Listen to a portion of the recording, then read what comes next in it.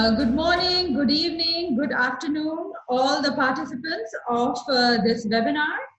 Uh, I am Dr. Neela Darbar and I am actually the secretary of the ACNS Women in Neurosurgery who has actually organized uh, this webinar. I uh, welcome to all our international participants. We are very honored to have them here on our panel. Um, I will uh, I will introduce Dr. Abida Shah, will be actually running the entire show. Dr. Abida Shah is also a part of the ACNS Women in Neurosurgery. She is she conducts uh, and organizes all the workshops and the education. And uh, Dr. Abida Shah is a gold medalist from Mumbai. Uh, she is an assistant professor at the Seth GS Hospital and KEM Hospital in Mumbai, India. She's a brilliant neurosurgeon, a skull-based neurosurgeon who has uh, got many awards and has many papers and leadership skills. So Abida, handing over to you to run the webinar. This webinar is on complications of neurovascular surgery. Abida, to you. Thank you, Anila, for this kind introduction. And uh, this is our third online webinar of, by, organized by the ACNS WINS chapter and we have had previous two webinars on uh, minimally invasive spine and on anatomy of the skull base. And this is our third one. As uh, complications is an integral part of our lives i think it is important that we have these kind of uh, webinars on complications in neurosurgery. And without much ado i think we should start. I'd like to invite our first speaker dr suchanda bhattacharjee she is an additional professor at the nizams institute of medical sciences hyderabad she's a very active woman neurosurgeon in mumbai and she's in uh, sorry in india and she's part of a lot of educational activities that happen here. And she's going to be talking to us on complications in giant aneurysm clipping. Over to you suchanda. Are you hearing me? Yeah i can hear you. Go ahead. Okay. So good morning good afternoon good evening in different time zones. I thank the wins team for giving me this opportunity to speak here, inspired by Professor Kato. Of my deepest regards to her.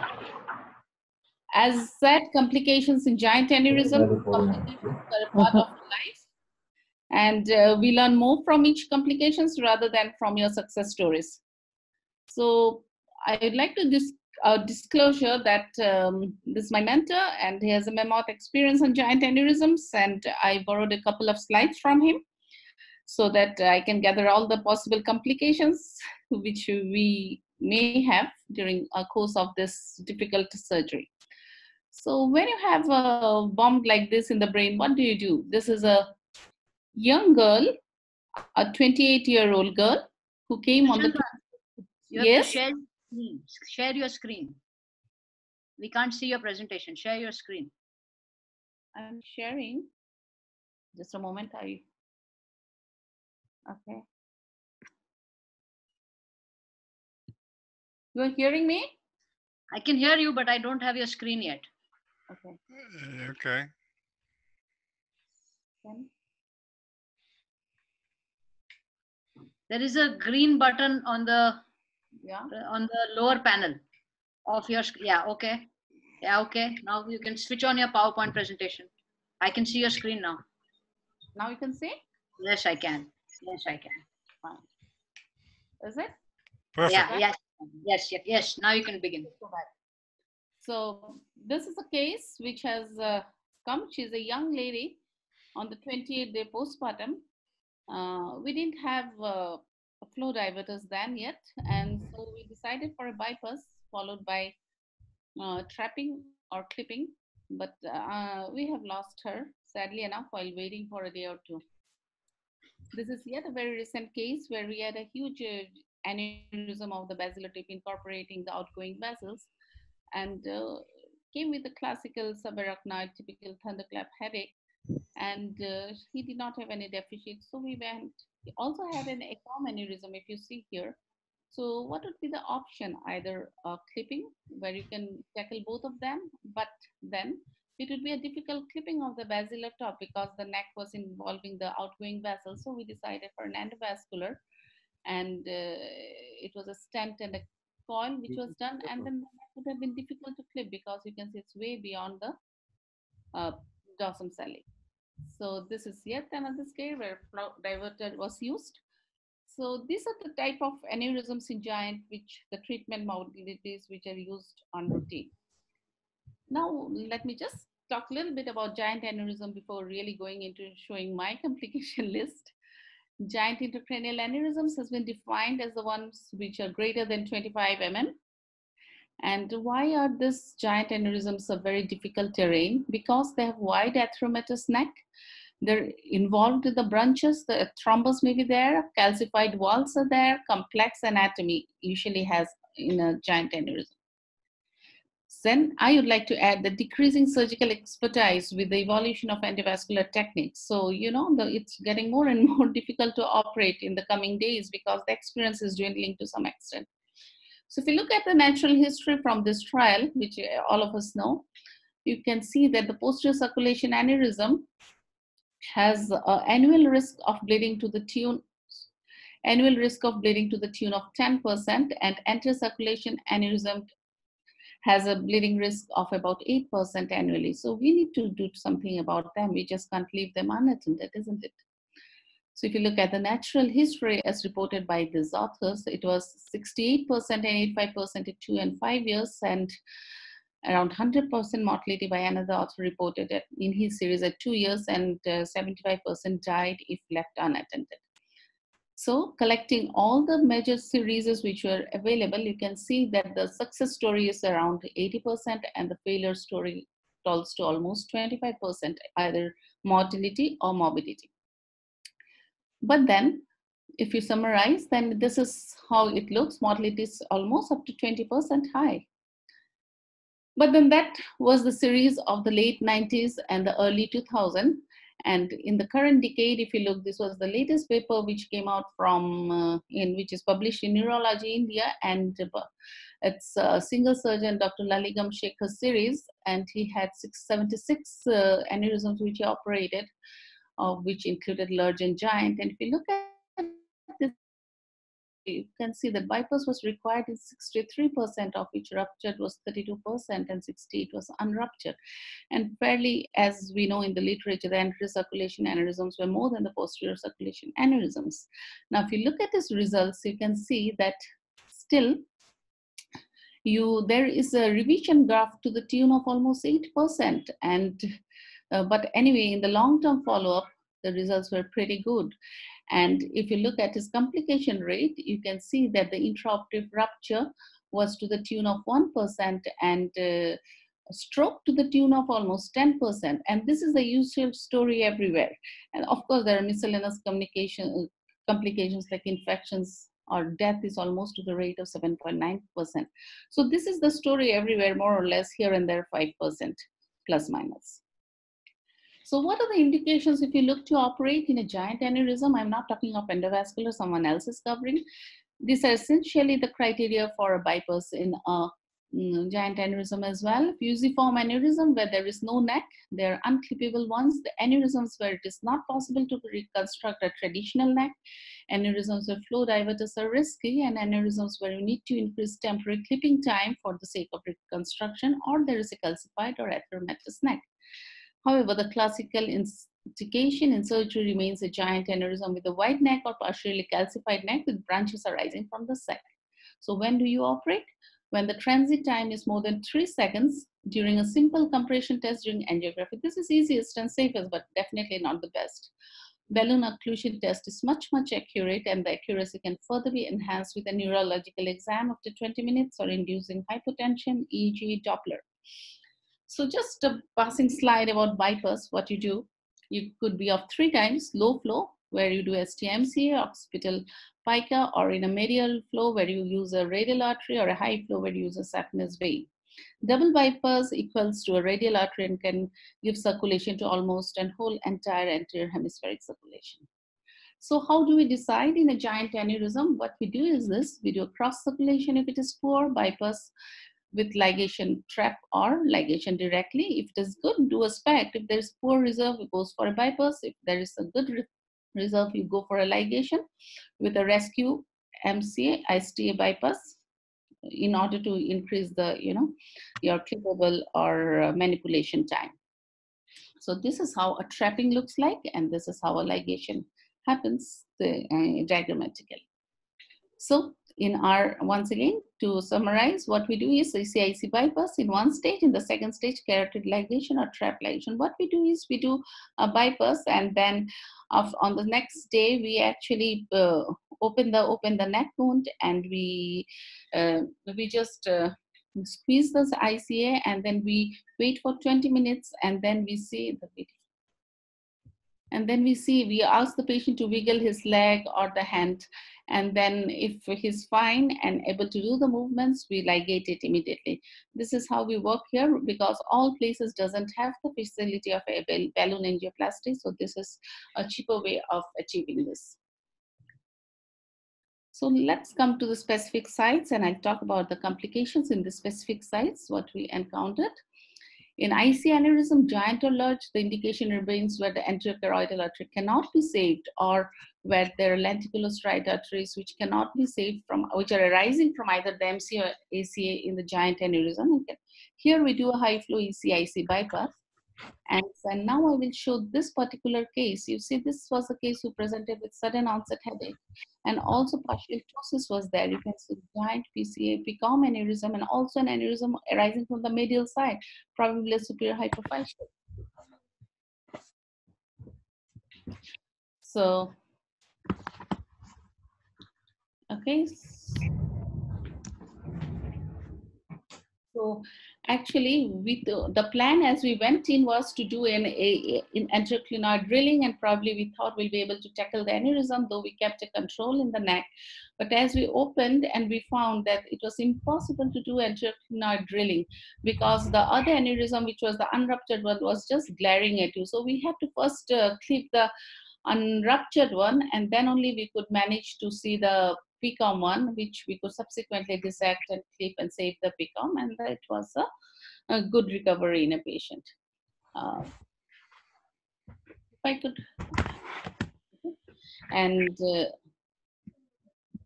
so this is one case that was that went on well, and this was a case where we had to do. This was a large uh, PCOM artery where we had to do a repositioning within six hours of surgery. If I, it is an old video, and if you see it here, you can see an atheromatous neck. We used a fenestrated clip and and done it. And here we could see we did not have an ICG or anything there, and we could see physically that the enterocoroidal was good enough. So we came, but on reversal from anesthesia, the patient developed right hemiplegia. We just took him in and again clip adjusted. So this tells us a story that if you do not have an ICG to confirm, you may end up going to the theater again, even though it looks good, but then, uh, you know, you need the ICG to confirm when it is available. So this is another complication I would like to say that this is a right PCOM aneurysm rebled on 24th day of clipping. I'll say this is not a giant one, but I wanted to show these complications, so I included in this presentation. This is the first angio pre-clipping. And then on the 24th day, she came with a GCS7, and this was the CT scan. So when we did an angio, we could see that the clip has actually slipped from the aneurysm. She was reclipped. So this could also happen. Now, this is another complication of a giant IC aneurysm, which actually gave way when we were doing an anterior clinoid drilling. I will just go, I will my, just go a little bit, hurry up through the clinoidal drilling part. I could not edit much because, so as we were drilling, you can see it was a huge aneurysm. Unfortunately, I did not put the scans because most of them look alike actually huge lobulated ones. You can see that we are doing the drilling here. The drilling continues. The, and this is the whole aneurysm. We tried to do a retrograde suction dis, uh, decompression, but then it gave away and there was tremendous amount of bleeding. We had no other option but to go on putting stacking fenestrated clips. And we required almost six uh, fenestrated clips to tackle this huge aneurysm but at, but anyway we could manage it so what did the what is the solution or what is the moral we learned from this story so the moral is if you do not have a balloon in the ICA while clipping as a control then you may end up with such problems. So a good meticulous planning is always required when you deal with such things like that. If you have a balloon here, you could do the suction. This is also another way of uh, doing a suction decompression, but this is the easier way and uh, it uh, this is how we do when that is not available. So coming to that, then, if you see the sodium fluorescence of that particular case, you can see there was a good distal flow, so the patient came out well. Now coming to an, uh, MC aneurysm, when do you do an MC aneurysm? When there is a fusiform aneurysm encircling the M1, flow diverters has a risk of thrombosis of the perforating vessels and two branches arising from aneurysm set. Reconstruction time and clipping time can be prolonged if a bypass is there. You, if you know that STMCA bypass uh, around 100 ml is given if uh, circulation time is given with a good size SCA. However, the MCA theater requires around 75 ml. And if you do a double bypass, it almost supports the whole hemisphere, as I have told earlier, because it gives around 150 ml per minute. So this is one case of a 23-year-old male who had the sudden onset of right hemiparesis, regained completely by 10 days, was investigated outside with a CT scan and came to us with occasional headache. And these were his scans where you can see a giant aneurysm of the MCA bifurcation. It was an irregular shaped aneurysm. And uh, we went and we did an ECIC bypass in this case and fractured the aneurysm. But the immediate post-op patient had a right hemiparesis up to the tune of 3 by 5 and he worsened aphasia and worsening of hemiparesis happened on period day four and we had to do a decompressive craniotomy. But the aphasia improved, the neurological improved completely over three months and now he's almost near normal and uh, he's able to do his all his activities well. So this was the post-trapping aneurysm. You can see the aneurysm is gone, but uh, had a stormy, uh, stormy post-operative period. Now this is a gentleman, a 65 year old man. He was he was uh, cir uh, circulation wise he was not a very good candidate. He had a cardiac stent one year back. Ejection fraction was 30. He went to the airport to receive his newborn granddaughter arriving from uh, US and you know he fell down and collapsed. And uh, then this was the scan with which he came to us. We had to do an emergency decompressive craniotomy.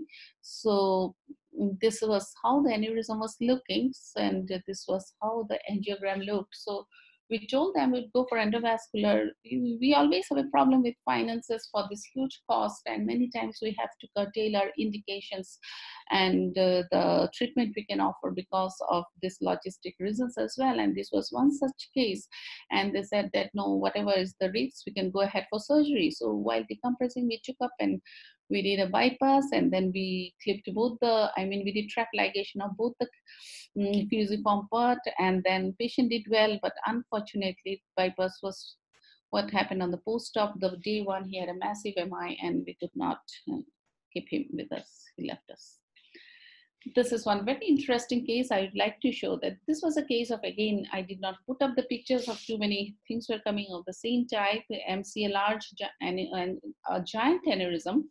And the plan was to go in trap it after doing an STMCA bypass.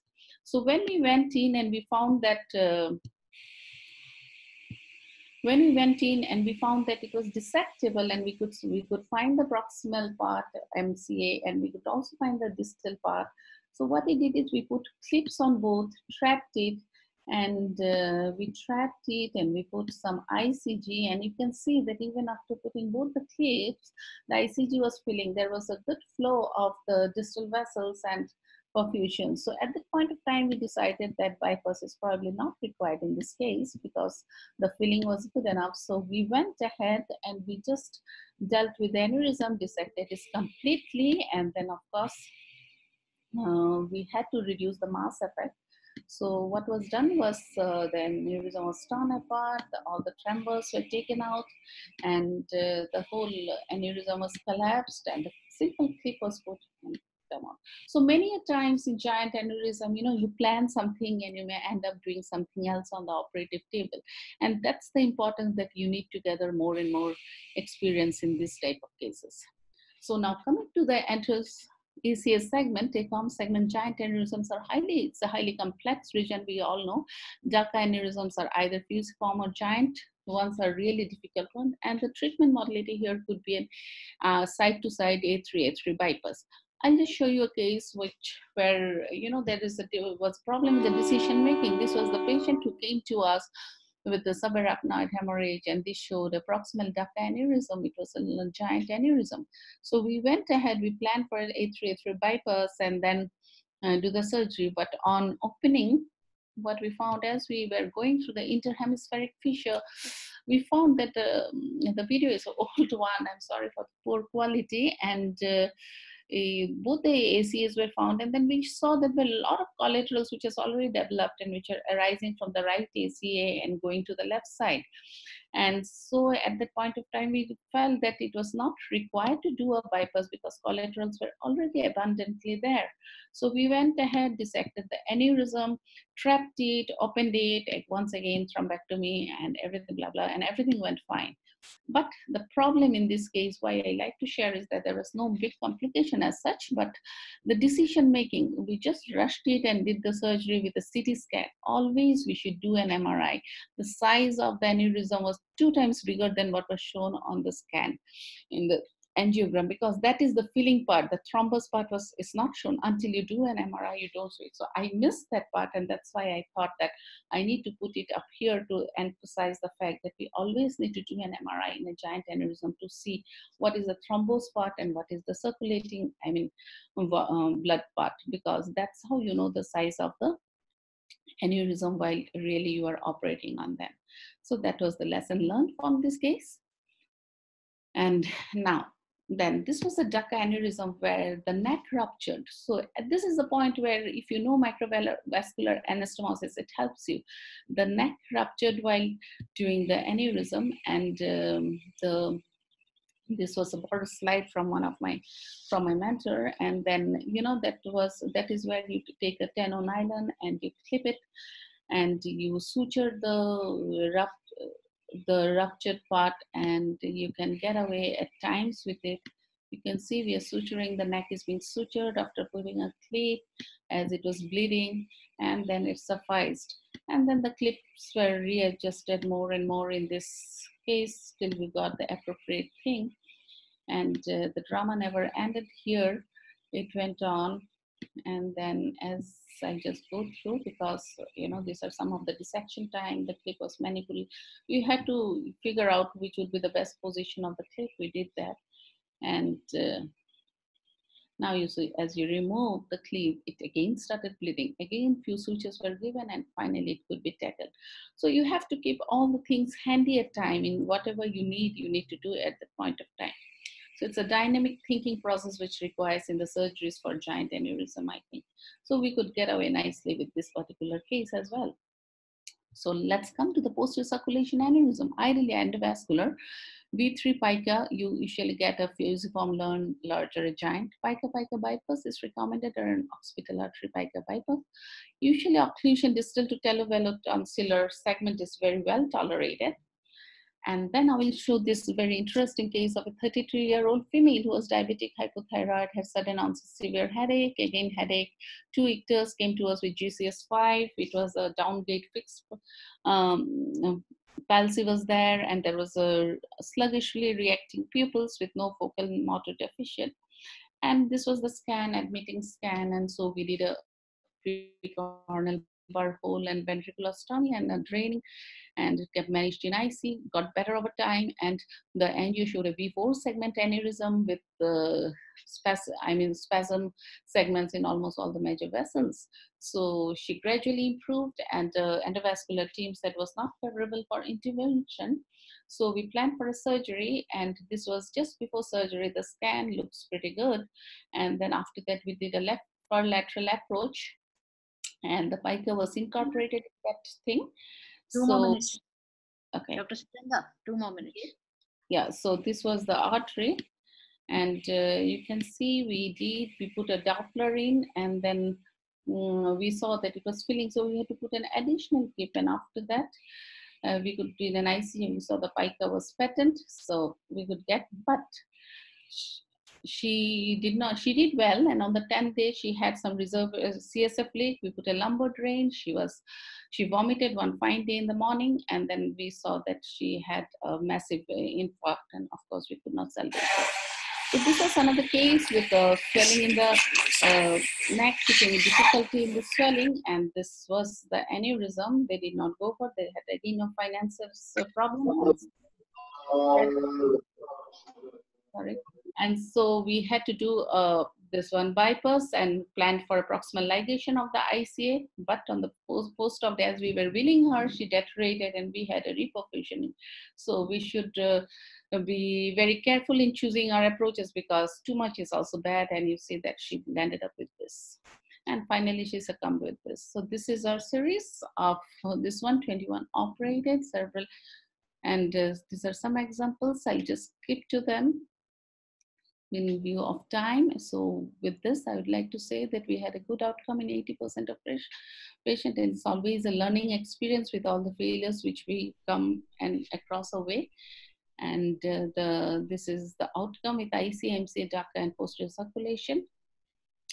And in conclusion, I would like to say that what complications we can expect are is an intraoperative rupture or a post-operative, we can have an ischemic infarct or a reperfusion injury, as I have shown in the case examples. And what are the tools to avoid injury are ICG or sodium fluorescent guided surgery is better, bypass giving circulation and prolonging clip time, and endovascular are getting better by the day. So actually, that is the thing. So I leave for you all to decide what is to be done in this case. This is a case of 70 year old the left PCOM clipped four years back, right now admitted with us. And on both the sides, she has huge aneurysms on both the sides. And uh, endovascular people said that is a very tortuous and probably will not be able to put a flow diverter here. So we planned for a proximal ligation following a bypass. So with this, I thank you all for hearing me and uh, uh, I hope it was useful to you all. Thank you. Thank you, thank you, thank you, Dr. Suchanda, for this beautiful lecture. And it is quite a good series of uh, giant aneurysms that you have. And uh, it's quite nice to see that a lot of bypasses are being done in this era of flow diverter. Uh, do, we, do we have any questions for Dr. Suchanda? We are blessed because, you know, endovascular, many people cannot afford. So we have this option in hand. I'm doing both, so I should not say too much, I think. yeah. So I'm uh, okay. uh, sorry. Yeah. Do we have any questions, or should we move yeah. on to the next?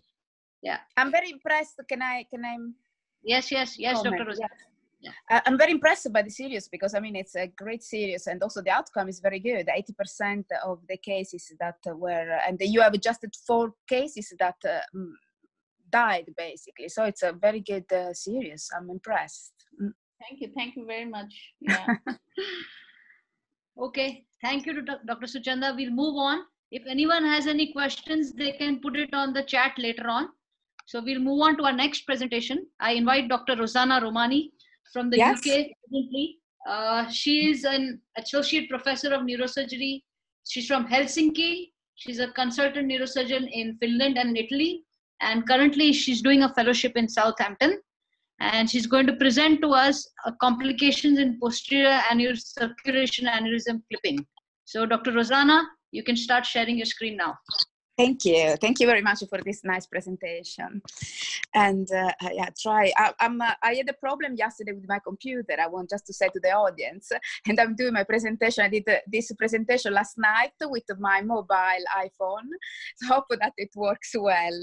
And one of the video is uh, from one of my friend uh, from USA. Um, I go with iCloud.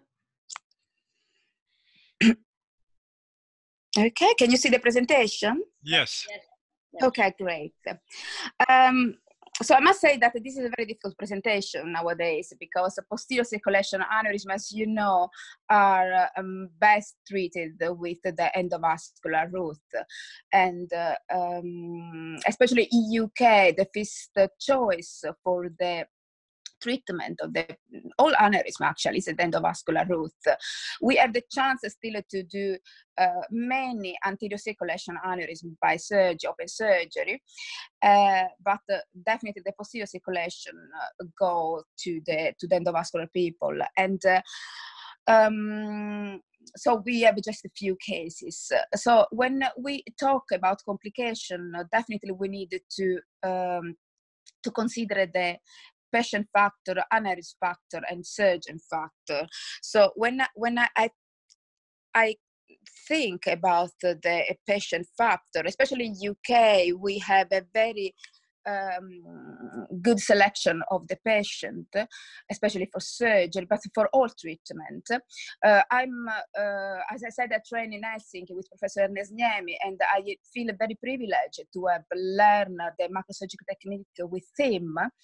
Uh, in Helsinki, uh, both the center, Kuopio and Helsinki, had an experience of more than 13,000 of microsurgical uh, operation, uh, especially in Helsinki. Uh, since the 60s, they were treated 10,000 um, patients by microsurgery so we when i was there we were doing uh, majority of the cases more than 90% by open surgery. And i had the chance to learn as well the posterior circulation microsurgery technique which nowadays in uk for example is very seldom to be seen. Uh, but uh, in helsinki the selection of the patient was very poor i have to say. So all PF patients were treated. In uk we are very careful. So the age of the patient, but especially the health status of the patient. So if the patient is living in nursing home and has uh, the grade 5 subarachnoid hemorrhage, of course, is not treated. But the patient with uh, independent living and with, uh, um, even if old, has, has a good chance, we give the chance and this is treated by endovascular people, or eventually, if they cannot, we do the open surgery. So when I talk of uh, posterior circulation aneurysm, we cannot deny that the most experienced neurosurgeons in the world are these three people. And Professor Drake experience by publishing his uh, book in 1996 of 1,767 patients is an experience that I think nowadays nobody will have anymore. Uh, Professor Hernesniemi learned by Professor Drake and uh, he reviewed his surgical technique and his uh, about posterior circulation aneurysm. But what they concluded in their book is that uh, a complicated course of recovery was more common than not. And you can see as how even the most experienced hand, the uh, posterior circulation aneurysm have a lot of complication. Um, when I was in Helsinki, uh, I had uh, the chance to do uh, um, uh, to, to, to do many publication and especially microsurgical technique because we were doing uh, open surgery uh, all the time. And uh, I published this chapter about the uh, microsurgery of rupture aneurysm. This is in few few years ago in the Bendok uh, book from the uh, Northwest uh, in in Chicago.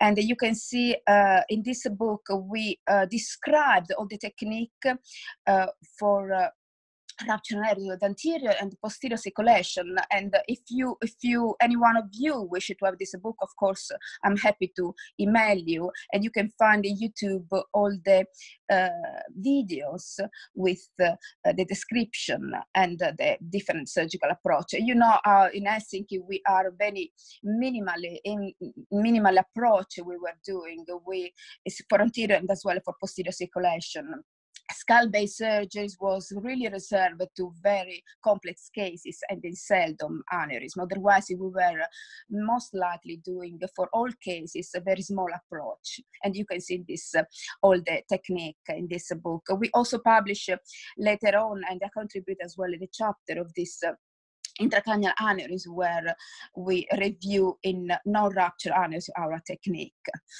Uh, but uh, because uh, nowadays the posterior circulation aneurysm are treated mainly mm, by the endovascular people, I thought that in this presentation probably could be useful to see as well to review one of the basically microsurgical technique for those previously coiled aneurysms. So I just analyzed the the posterior circulation. We had in this series of uh, 81 patients uh, with 82 aneurysms, uh, 24 posterior circulation aneurysms. And uh, um, what is really, uh, I think, significant is that by analyzing the factor correlated with outcome, we found that posterior location, intraoperative rupture, and temporary clipping were associated with a poor outcome.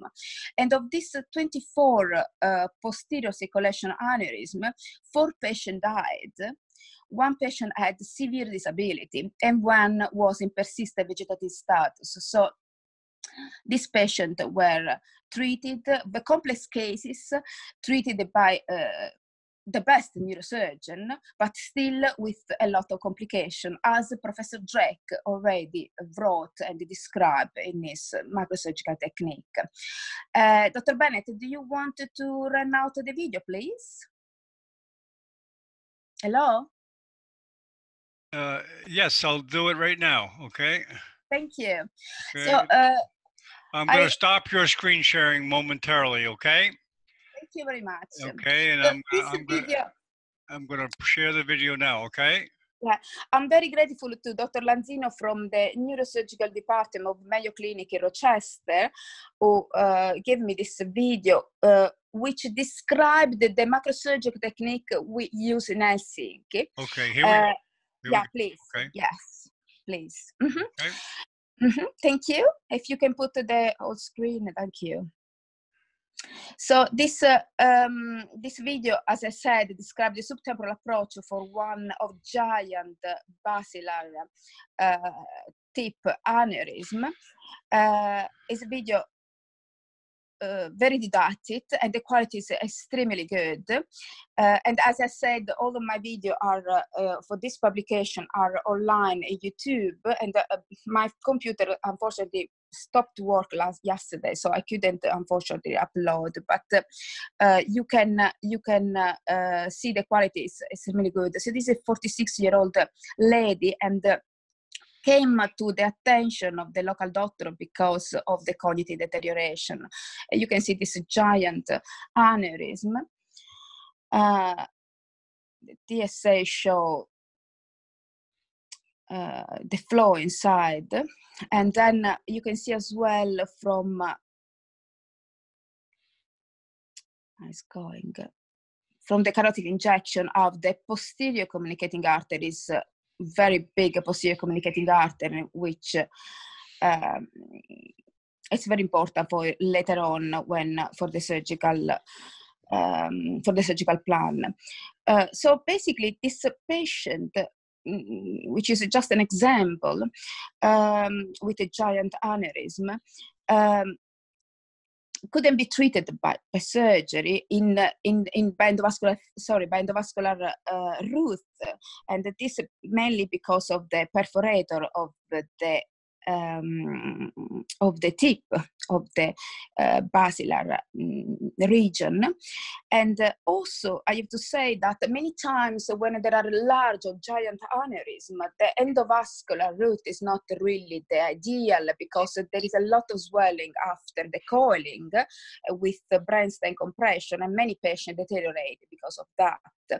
So, uh, in this case, the, the Dr. Lanzino made a, a occlusion test from the left vertebral artery. This to verify the flow from the perforator, which is extremely important when it's planned. Uh, uh, it's, it, we needed to plan a proximal occlusion of the basilar, which is the best treatment in this kind of giant aneurysm. Um, so the surgical approach for this kind of uh, uh, is the same that we use in Helsinki and it should be used. So the subtemporal approach which is a very direct approach uh, and it's um, it's a very very um, anatomical approach, as you know. So the patient is in lateral position, and uh, usually the head needs to be parallel to the floor and a little bit tilted to the down. And it's extremely important the lumbar drain. So uh, I remember that uh, we never did a posterior circulation subtemporal approach without a lumbar drain. And I have to say that in Helsinki we had also uh, a very good anesthetic team and always the brain was slack. This is extremely important when you do a small approach, a small craniotomy, because a slack brain is the key. So of course, sometimes when you don't have the slack brain, you need to do a larger approach. But uh, when the anesthetic team is extremely good and we published many articles about the technique of the anesthesia, uh, then uh, the, the approach for skull-based lesion or for vascular lesion uh, can be small. And as you know, we are uh, we, we publish many articles about the lateral supraorbital approach for anterior circulation or for anterior skull-based lesion. Um, then, what is a key in the subtemporal approach? You are all of the panelists I can see are very experienced in neurosurgeon, so you know that the tentorial edge it's uh, the one that needs to be open to gain the uh, enough access to the proximal portion of the basilar artery and also to expose the anatomy uh, which is a very uh, eloquent anatomy. Um, and uh, here all the steps that are described in a didactic way. So the, the, the um, as, as you can see and then basically the the uh, the uh, visualization of the oculomotor, the trochlear nerve, superior cerebellar artery, and you can see now in the video uh, all the structure. So the tentorial edge, uh, the opening of the um, uh, interpeduncular cistern with uh, sharp bipolar, we uh, usually, uh, I have to say that we will always alternating the bipolar uh, as a microsurgical technique in, um, and, and we do as well here in UK. So uh, the sharp bipolar usually has dissection, but uh, many times we use the blunt bipolar to avoid uh, um, to, the, to avoid basically the, the damage of the structure. And you can see here now the uh, superior cerebellar artery, which is uh, exposed. I can't really, the video is very, uh, the brain stem with the star. Um,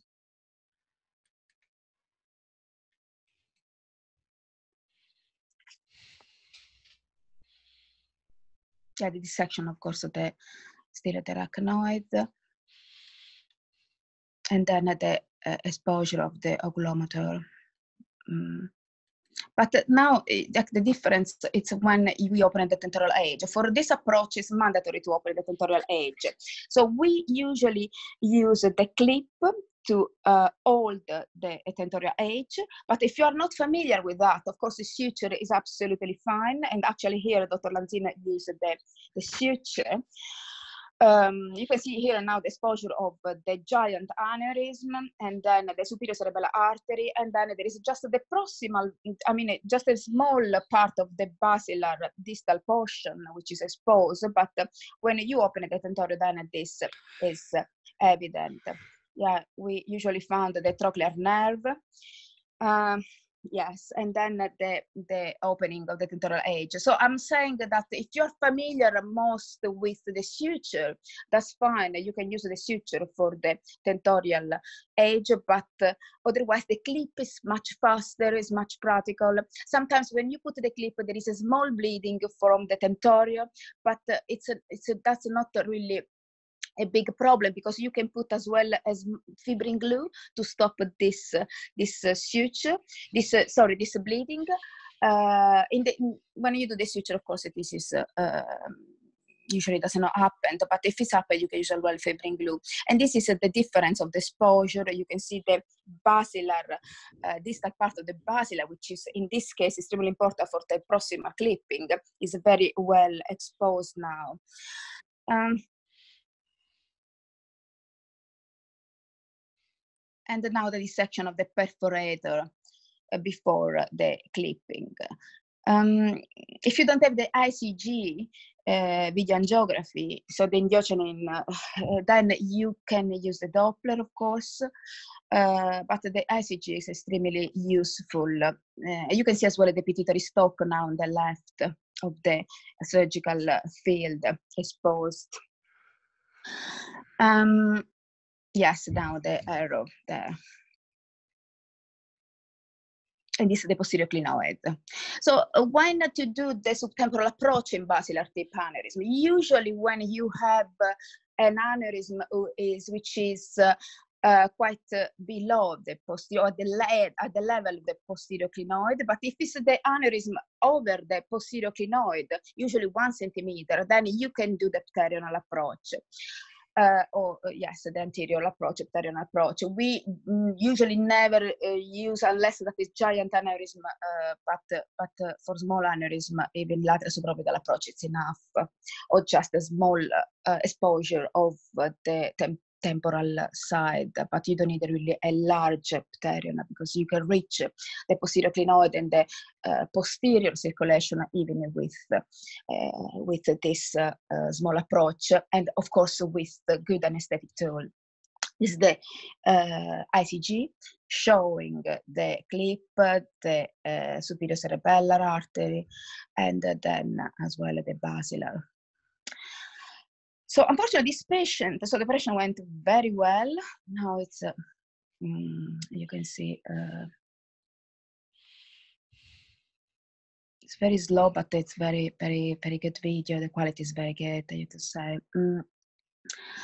Um, so this patient uh, immediately after surgery had a very, I mean, she was unchanged on you can see here the DSA after surgery, which shows still the aneurysm, but the flow was much reduced. Uh, you can see here in the posterior, which uh, there is, this was for the uh, anterior injection and then now the posterior. But the posterior, the postoperative course, of the patient was basically unchanged with the same symptoms as before surgery.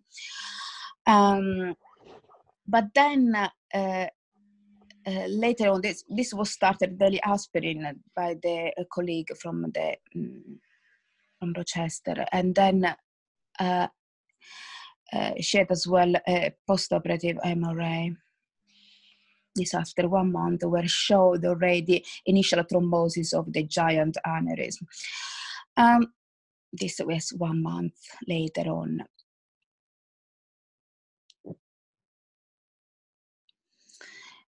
So later on the patient um, uh, started to have uh, urinary incontinence and also gait worsening. This is uh, two months after the neurosurgical procedure. Dr. Rossana, just a reminder, you have two more minutes. Yes, uh, finished now, don't worry and uh, uh, unfortunately she was found unconscious and then uh, she uh, basically uh, there was the plan to review the patient to exclude hydrocephalus because this probably was the, the cause of the deterioration or maybe a sudden rupture of the aneurysm. If you can uh, come back, I don't know, to the slide, I have just the Dr. John. Yes, yes, you, you want to go back? I don't know if I can. Can I go? Yeah, you want to go back in your presentation there? Oh, wait a minute here. We, yeah, yeah. So the presentation there is just one slide. Uh, okay, which? Yes. Or maybe I can go by myself. Maybe. Yeah, let me get off the screen share. Okay, it's all yours now. Yeah, it's just uh, yeah.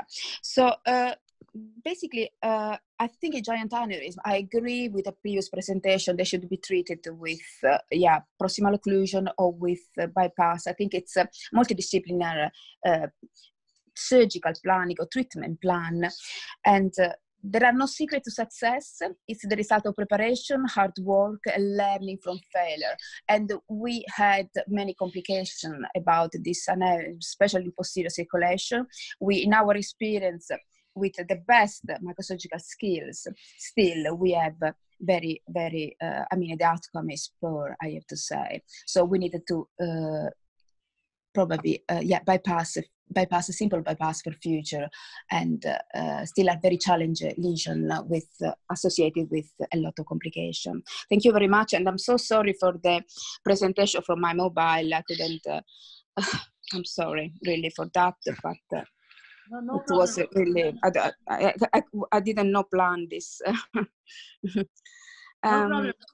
Thank you thank you very much for the chance it's i really feel very very honored to give this talk uh, to mm, all this experience experienced neurosurgeon around the world thank you Thank you, Dr. Rossana. That was a good, great presentation. And uh, you have, you have, you, you must have seen a lot of posterior aneurysm surgery because of your experience in Helsinki, which we don't see too, you know, we don't see too much in this endovascular era. There was a Correct. great presentation. Yeah.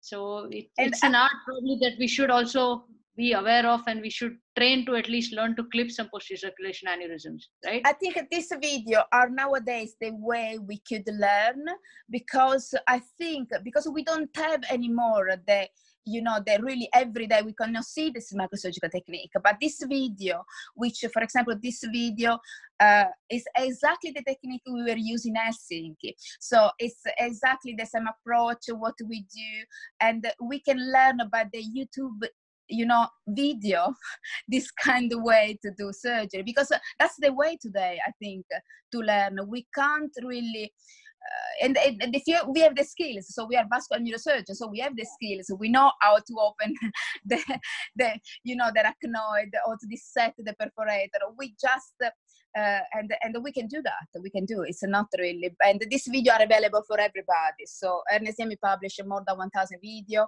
and uh, all of my video and if you need some material uh, article so chapter all the techniques is described so we can do that and even if it, they are not every day unfortunately nowadays so we can't see anymore Mhm. So thank you, Dr. Rossana. Do we have any questions for her? Okay, I think you can post the questions on the chat and we'll move ahead. Uh, we with Dr. Yoshimura. He is with us.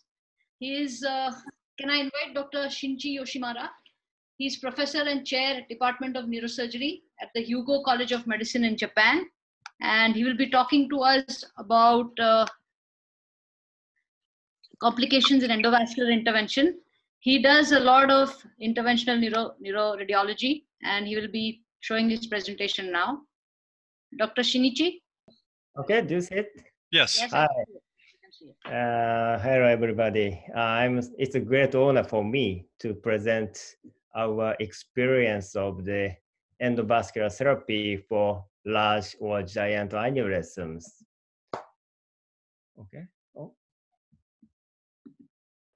Uh, this is our college uh, named Hyogo College of Medicine. It is at Nishinomiya. Where is Nishinomiya? It is uh, close to Osaka. Uh, it's actually between Osaka and Kobe. Here is our institute. This is my personal experience of the uh, treatment as a neurosurgeon. Uh, my total case is over five 5,000, and uh, uh, among them, more than 2,000 cases are aneurysm treatment. The number of treatment of cerebral aneurysm is increasing by year like this. And in my department, open surgery is done in around 40% of the patient, and endovascular therapy is in 60% of the patient, according to the patient aneurysm uh, anatomy and systemic uh, condition. Uh, endovascular therapy was performed more than 500 people uh, in five years, and the percentage of coiling is 44. Stent assist coiling is 41, and flow diverter was used in 15%. This is a, a summary of clinical result of our uh, uh, aneurysm treatment for unruptured one from 2016.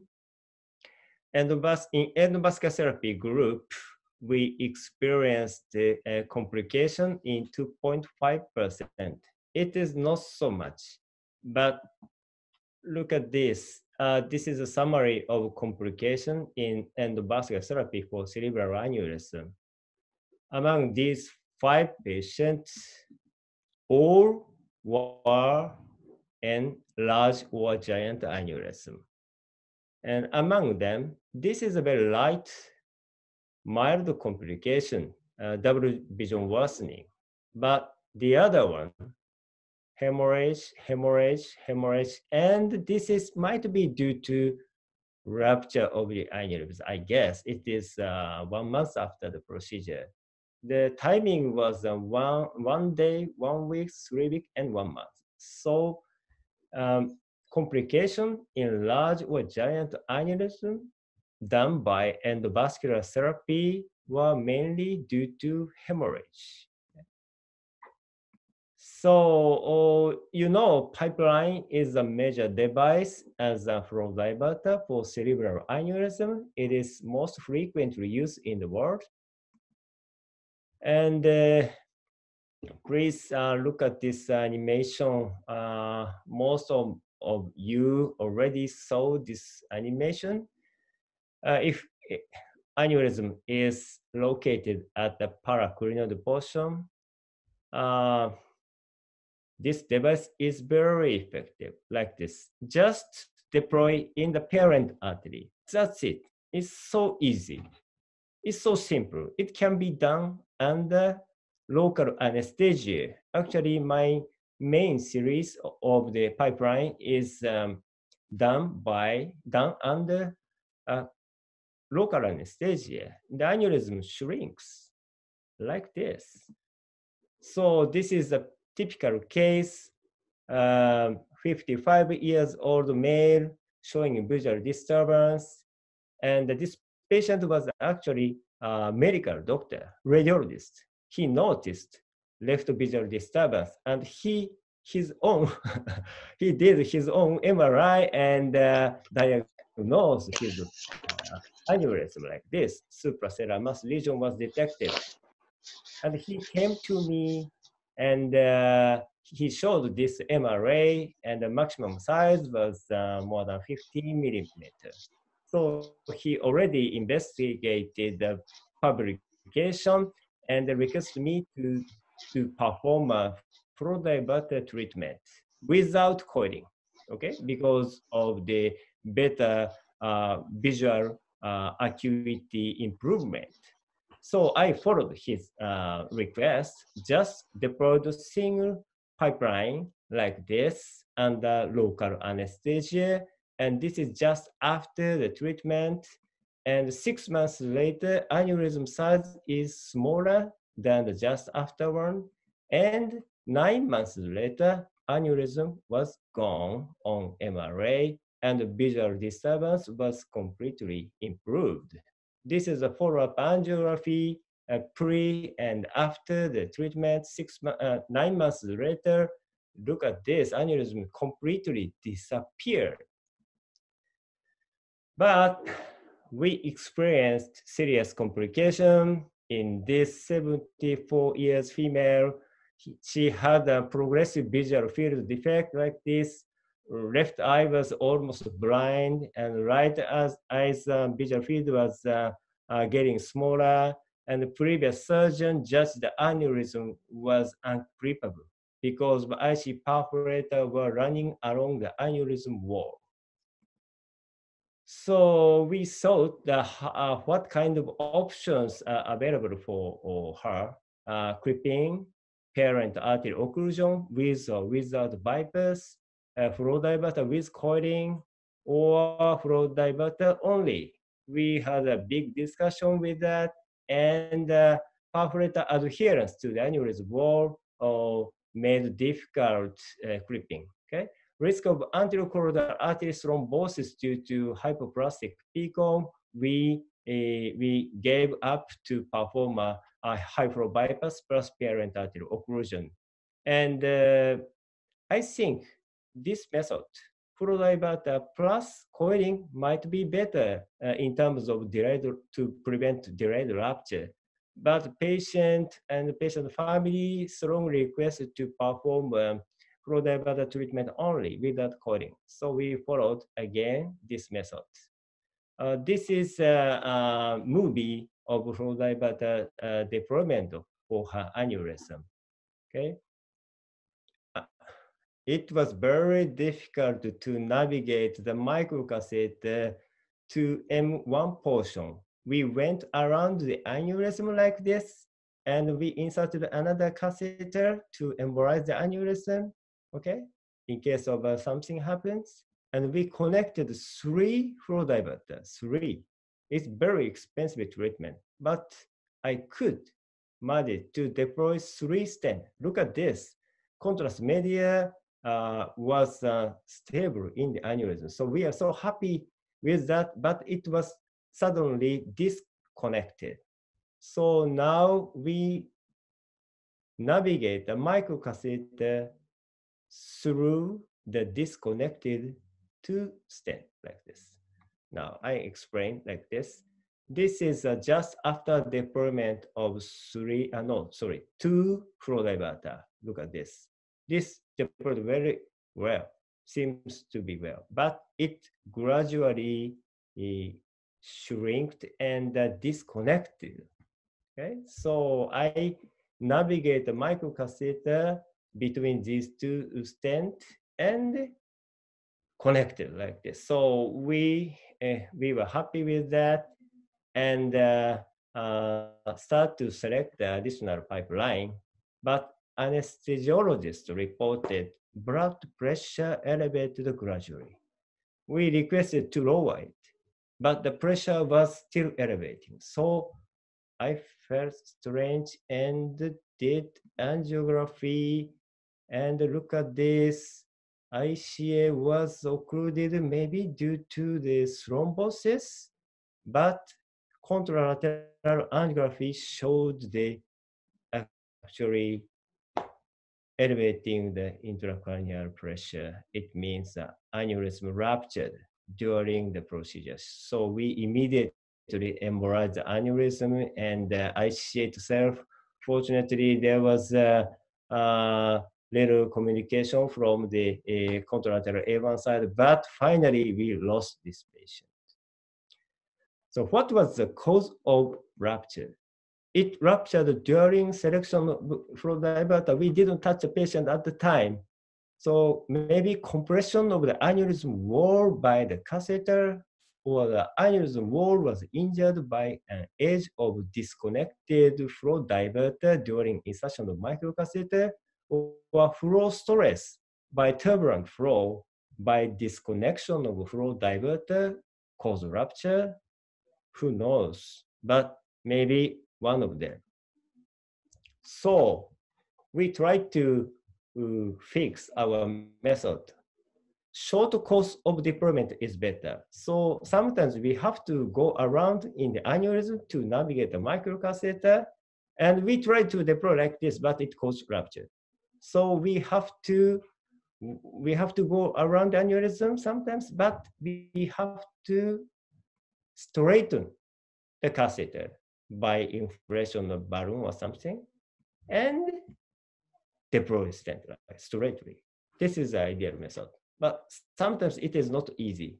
Go around the aneurysm, pull the catheter, and try to deploy stent, but it may sometimes uh, need two or three diverter. It lead to migration of the stent system like this. So we saw that uh, this method, okay, uh, straighten the microcatheter and after, after straightening, we embolize the aneurysm and by disanchoring, we could deploy pipeline like this. So it is the best one like this, okay, you saw. But if it, it is very difficult like this, we have to deploy coil and uh, flow diverter. But mass effect may remain. But in this 80 years old female showing hypopituitarism and visual field defect, we did the plan two. Okay, patient had such a giant aneurysm, and we de- we delivered coils like this, and this is just after coiling. Afterward, we deployed pipeline like this. So aneurysm was completely obliterated during follow-up. But he, her visual acuity was not recovered, but we saved her life. So aneurysms difficult to treat by flow diverter I are as follows. First one is a tortuous access route. Okay? Navigation of guiding or microcatheter is difficult. Giant aneurysm. Complication rate is reported to be higher compared to large aneurysm or smaller one. Fusiform or aneurysm having branch from the dome, there is a risk of thrombosis in branches and perforators. Maybe this is uh, maybe a basilar trunk aneurysm or M aneurysm. Ruptured aneurysm in acute phase is not diverter is not reimbursed in our country. Delayed rupture may happen. And hemorrhage, if patient having hemorrhagic disease like gastrointestinal or women's disease like uh, uh, uterus myoma or something, antiplatelet may cause hemorrhagic problem. So we cannot administer it. So it is not good for the uh, pipeline treatment. So our experience of pipeline is uh, now 100, but uh, in 90 patients, we experienced this serious rupture. And another one is uh, worsening of um, um, oculomotor palsy. So basically, the Uh, treatment is safe, but we have to carefully select the patient. So Recently, endovascular therapy is rapidly increasing and many patients request it. However, we should select a surgical method when it is safer due to patient anatomical and systemic condition.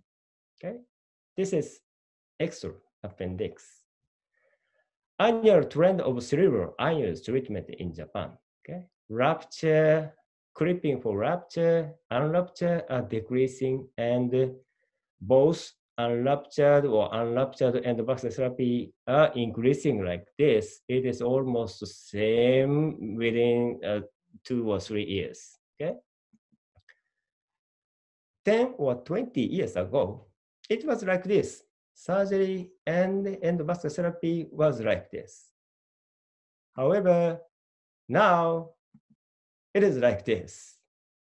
Okay, so it's time to shake hands maybe it now it is time to be a hybrid neurosurgeon like us and to do uh, endovascular therapy and surgery. So I'm always saying to the young fellow, why don't you start endovascular therapy together with uh, surgery? Is it possible? Nothing is impossible to achieve. Okay, we have actually uh, many overseas trainees and visitors like like this. We are so happy. They are from Indonesia, India, Nepal, Vietnam, Colombia, Nepal, Thailand, and uh, also even from Nigeria. We are happy with them. Okay. Uh, we uh, we are proud to be a WFNS postgraduate training center, and uh, hopefully uh, we we can see you, young fellow, in Osaka or maybe in Kobe, uh, Kobe beef is waiting for you. Thank you for your attention. Thank you, Professor Yoshimura. That was an excellent presentation. Thank you. Thank you very much. And uh, the, you spoke about hybrid neurosurgeons, and it is becoming a very important armamentarium.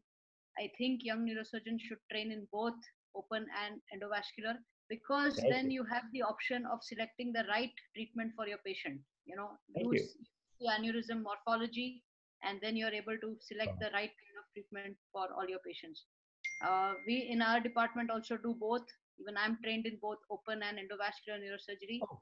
And to say the least, flow diverters are a good option, but yes, complications can happen. Even Right. I have seen one uh, where we had a supraclinoid huge IC aneurysm, and the patient did well for three days after deployment of flow diverter, but then suddenly on the third day, I, uh, she didn't, she succumbed, and we did an autopsy, and we could see that the flow diverter had come out of the vessel. I mean, the whole Oh. aneurysm ruptured. Yeah. So I have Mm. seen one complication of a flow diverter, but otherwise they are pretty good tools and they do well. So thank you. Dr. Yoshimura. Thank Any you. Thank Dr. you, everybody. Do we have any questions? Yeah, actually, I have a question if it's possible, if you have a time. Yes, yes, Go ahead, Oh, ahead, Dr. yeah. Rossana. No, I'm just impressed by the fact that uh, you did 67 cases under local anesthesia. Ah. I mean, this is Yeah. uh, this is the first time, first time that I, I, to be honest, I heard that. I mean, they stand, uh, you know, in session because usually uh, they are under general anesthesia. So oh, really? Uh-huh. Yes, yeah, yes, we do under general, to be honest. Yeah, in uh, the department where um, Japanese you- patient are s- so so Still. tough. so still because you need Patient. And do you do you do also the double uh, anticoagulant treatment for uh, Yes, you the aspirin for life and then uh, what do you use? Yeah, right. Right. A key Aspirin point for- is to test the uh, antiplatelet uh, reaction of the patient before the procedure because Asian shows a higher percentage of the resistance to the clopidogrel, right? So in that case, we switched to the recently new uh, uh, medicine like prasugrel or some other. Prasugrel. And then you do prasugrel for six weeks or for uh, six months. How much do you usually and uh, how long do you? Usually one to three months, says we will stop prasugrel and continue aspirin.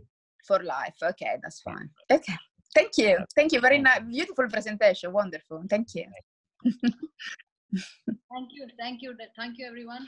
Uh, so we'll move on to our next presentation, and I have the pleasure to invite Dr. Eka Wahjoepramono.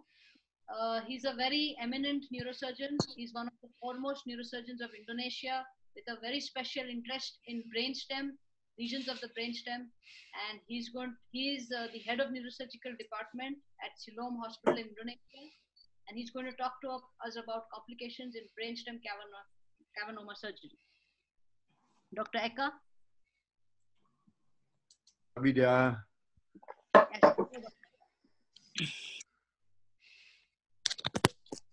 Do your screen share now. Yeah. okay, you you see my screen? Yes. I've started. Yes, I see your screen. You see my screen? Yes, yes. Okay, thank you very much. So, hello everybody. I'm Eka from Indonesia. I just want to share with you about our experience in brainstem cavernoma surgery. And the title this uh, this time is the complication. So, uh, as you know, that brainstem is only as big as your thumb, and everything is there. Nuclear track everything is there. So of course, uh, many probabilities of complication if we have, uh, for instance, not a proper Oh. approach for that. So Eh? let me share with you about a couple of cases we have.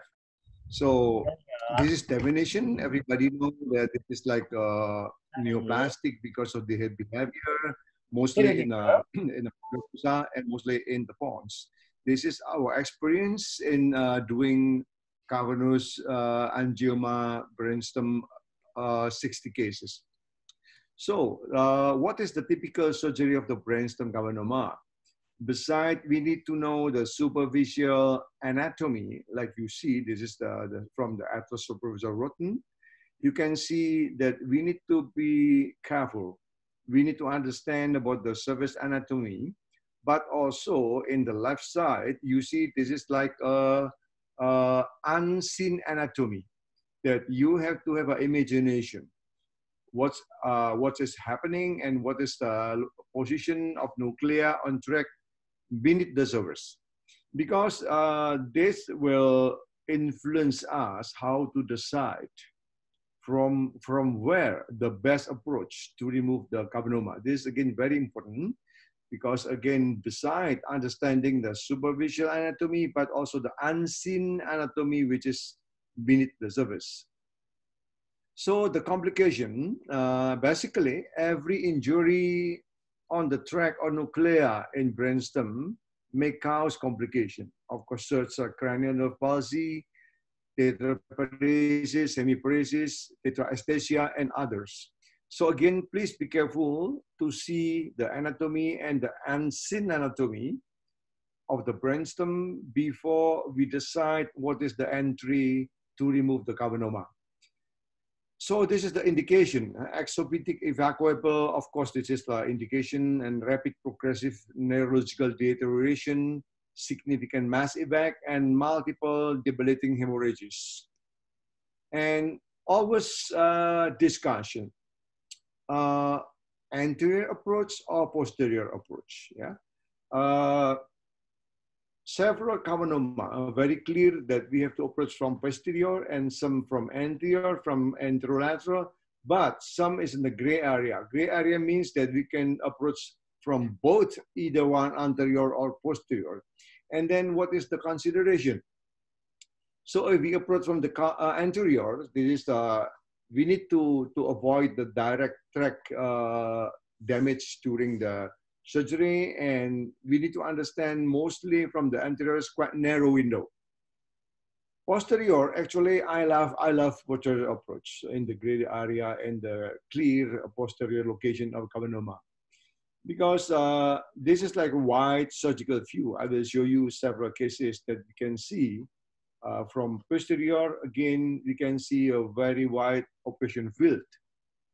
So this is our experience in rupture cavernous angioma. So sometimes the bleeding is inside the cavernoma and cause like a mass effect, like a tumor. So this is very important. If you see there is like if the bleeding leaking through the weak wall of the cavernoma that cause so called halo sign. You can see this is a very beautiful halo sign that even I saw only once in my life. Because halo sign is very important sign where every neurosurgeon have to know. Because this is the best time to remove when you see the halo sign very very uh, different approach. So this is another similar case uh, somebody treated my, by uh, my neurology colleagues from other city they thought that is like uh, that was like a hypertensive bleeding, but in in fact this is a cavernoma. Just because of too long, they wait more than three months. That you see the halo is start to disappear. You see here, this is a halo, but the unclear halo compared with the former case. And this is completely different strategy. I mean, again, the answer is same, surgery, but it's much more difficult to remove. I will show you later. So you see here, this is not the case with a mixed intensity of the bleeding of the cavernoma. means this is a multiple bleeding. So uh, in this patient, he got several bleeding. Maybe in the beginning it's not so much clear, then they uh, did not aware. This is like a bleeding of cavernoma. And this is actually like a multiple cavernoma in this young boy. So you can see this is another case with subacute appearance. You can see here. And this is also indication to remove the cavernoma as soon as possible. And some cases, they cause a severe neurological deficit, mostly if the cavernoma located in the medulla.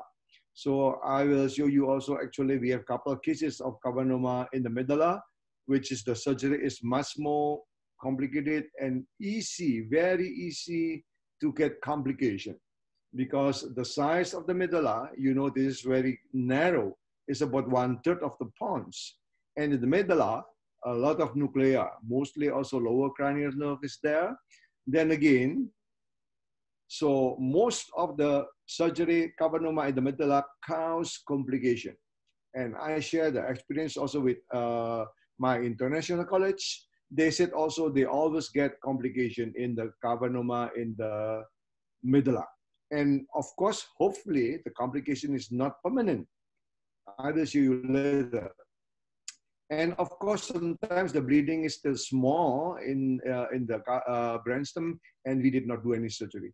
This is the halo sign I showed you before. This is the first case of our experience doing uh, brainstem surgery in Indonesia in 2001. Uh, you see here young guys with a quadriparesis, and there is a very clear sign right? And again, at that time, actually, we did not have experience before, but because the patient came in an urgent situation, then we had to do something. He's a poor people, then we need uh, we need to make like a fundraise for him, and then again, this is the surgery with a prone position, and you can see here, uh, prone position. We just uh, split a bit pons in the lower pons. You see, this is a, very beauty of the pons, and again, this is like a moderate, right? This is gray area, whether you can approach from anterior or posterior, but I love posterior, I show you. And in this case, you see that once I found the capsule, I just removed the capsule.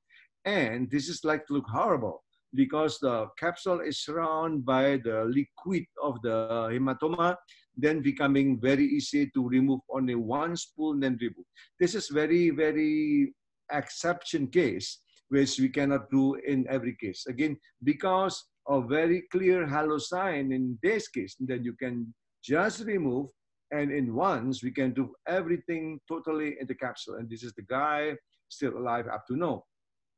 And this is the post-op MRI. And you can see, uh, this is, I told you, if this is uncleared, halo is here. So if the case is unclear, you can see this is the same surgery. But technically it's much more difficult because everything is attached to the normal tissue. You can see here, right? So uh, here that we, we have to piecemeal because we cannot remove once like the, when the halo very clear. This is not a case of midbrain pontine cavernous angioma, and we did approach in anterolateral. You can see here, this is a, quite big mid uh, cavernoma. And again, need to understand anatomy from outside. This is a, a anterolateral approach. We can see we can just uh, pull uh, slightly temporal lobe and we should cut the 10 because again, uh, you can see here, this is the pons and this is, uh, we have to dissect and save the, the nerve gently. You see here, the best sign if you see the chocolate landmark of the hemosiderin here, right? If you see hemosiderin from the surface, means this is the best place to enter the brainstem, right? You can see here, we just enter deep and deep, then finally we did total removal in this case.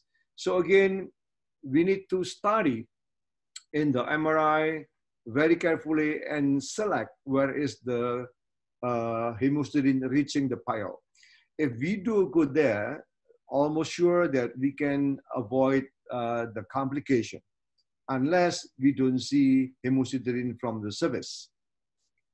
So this is not the case. You can see here, this is a small, actually, uh, cavernoma in the border of the pons and medulla. And because this is located in the quite superficial, then we can do surgery.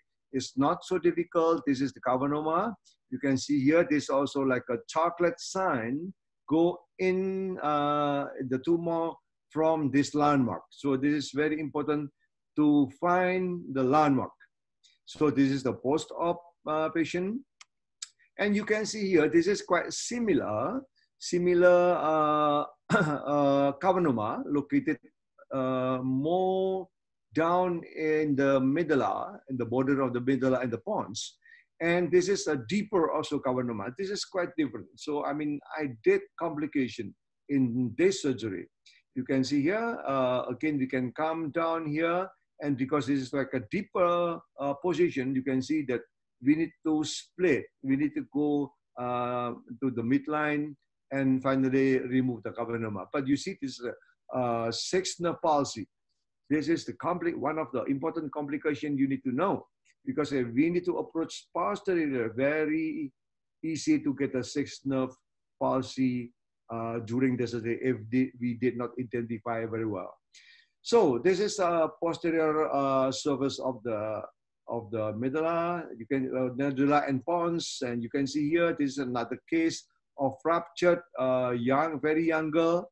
You can see here stria medullare. Here again, I prefer posterior and keep midline. Keep line is very important because actually in the normal position, uh, we do not find any nuclei in the midline. Everything is paramedian, right? And we just need to see where the, the crossing, the decussatio of the track uh, in the brainstem. Anyway, in this case, we, we uh, remove the tumor uh, piecemeal, you can see here. Then this is a post-op MRI, and this is in children uh, much more quicker to get uh, recovery. This is 10 days after surgery, still hemiplegia as when she came. Then one month later, you can see the progress very, very well because in this in children. And again, select the position is very, very important to decide where to approach. This is subacute pontine multiple cavernous angioma. You can see here, this is a multiple bleeding. It's a young boy, and we approach first, of course, from the posterior, and we can see here uh, the surgery. This is the nine years old boy with a sudden onset diplopia. You can see we can meet the the tumor first, then the the hematoma later on. So this like a layer here means also multiple bleeding. So again, splitting the vermis is very important. Splitting the distal side of vermis is no harm. So in our cases, we do not have a complication of mutism because of the splitting vermis. Because if the location of the cavernoma quite high, if we do not split the vermis, means that we will have to retract uh, severely, and this is not good for the swollen process and maybe more complication during the surgery. So again, this is uh, the boy after surgery, and he came to my clinic regularly and uh, still doing well. So this is not the case of uh, medulla. You see here, this is the medulla cavernous angioma.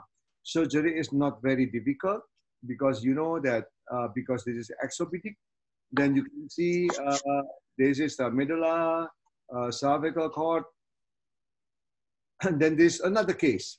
This is, uh, I told you before, cavernoma is in the brain, in the medulla, right? And the patient came with a hemiparesis and the lower cranial nerve palsy. Medulla is very, one of the smallest part. And again, I approach from posterior like this. And again, because this is located beneath the surface, we need to split the surface. Again, we need to understand the anatomy. And you can see here, we split the surface of the medulla. So slowly here, because again, it's located about one millimeter beneath the surface. Then you can see finally we find the cavernoma. Be careful. Again, keep midline. It's very important. Don't go anywhere else. Right? Finally, we found there is the cavernoma. Right? Then we can piece, uh, piecemeal remove very slowly. And again, manipulation in the brainstem, mostly in the medulla, has to be very, very, very gentle because again, this is only as big as uh, our finger. And again, every manipulation, every touching, every damaging of the nuclear or the tract will cause any complication. So anyway, this is the surgery of the medulla and this is the patient. And he need to use uh, NG tube two months. Fortunately, after two months, we can remove the NG tube, recovered. So in several cases, uh, based in our international discussion with our colleague, many of them permanent complication. This is big problem because again, in the medulla, there are many nuclei of the lower cranial nerve palsy. Once we damage may cause permanent uh, uh, dysphagia, and this is very, very bad for the patient. This is not the case of the midbrain cavernoma, and this is not so complicated. Also we can do uh, a case of uh, subtemporal approach. This is a lower pons cavernoma we do in a sigmoid approach. You can see here. This is not the case of the midbrain pons cavernoma this is a 29 years old female you can see here this is quite big cavernoma and it was bleeding one month before she came to me. You can see this is a really big one and uh, located in the middle, uh, in the pons and midbrain. You see here, this is quite long, big cavernoma. And again, this is like a, a wife of poor husband. Anyway, we have made a fundraising for him and we did the position with a sitting position. This is the best approach. As you see here, with sitting position, we can have a very good uh, view uh, because the cerebellum will gravitatically going lower. And of course, operator is a bit problem here yeah, because this is very, really very exhausted and very uh, not a good position for the operator. Anyway, but this is the best best uh, position to reach the cavernoma. So be careful because we did couple of cases of uh, sitting position and we got a uh, couple of cases of air emboli. This is very important to discuss with anesthesiologists yeah, to, to, to always keep in touch and have to stay there. Don't leave the patient because anesthetists will, will see the change of the ECG when the air emboli coming. It's very important. Yeah. If we did a sitting position, anesthesiologists have to be ready in every second never leave the, uh, the operating theater while we are doing sitting position in this uh, patient. So you see here, this is the cerebellum coming down by gradually, and we can find here, this is again, this is uh, the sign of a chocolate sign here, then we come inside, then finally the target, the goal is total removal of the cavernoma. So again, this is the only uh, brainstem cavernoma we did with a sitting position. And the other is just about uh, posterior and anterior uh, position. So this is the post-op. and I thank you very much for your attention uh, with my sharing of cavernous angioma. Welcome to Indonesia. Anytime we make a fun, and make a conference together. Thank you, everybody. Thank you. Thank you, Dr. Eka. That was an excellent presentation. Uh, do we have any questions? He's a very yes, senior neurosurgeon. Have, yeah. have a question? Yes, go ahead. Yes, Prof. Eka, thank you for your nice presentation. Uh, my question is, how do you differentiate a cavernoma from uh, like a midbrain cavernoma from a brain a midbrain stroke?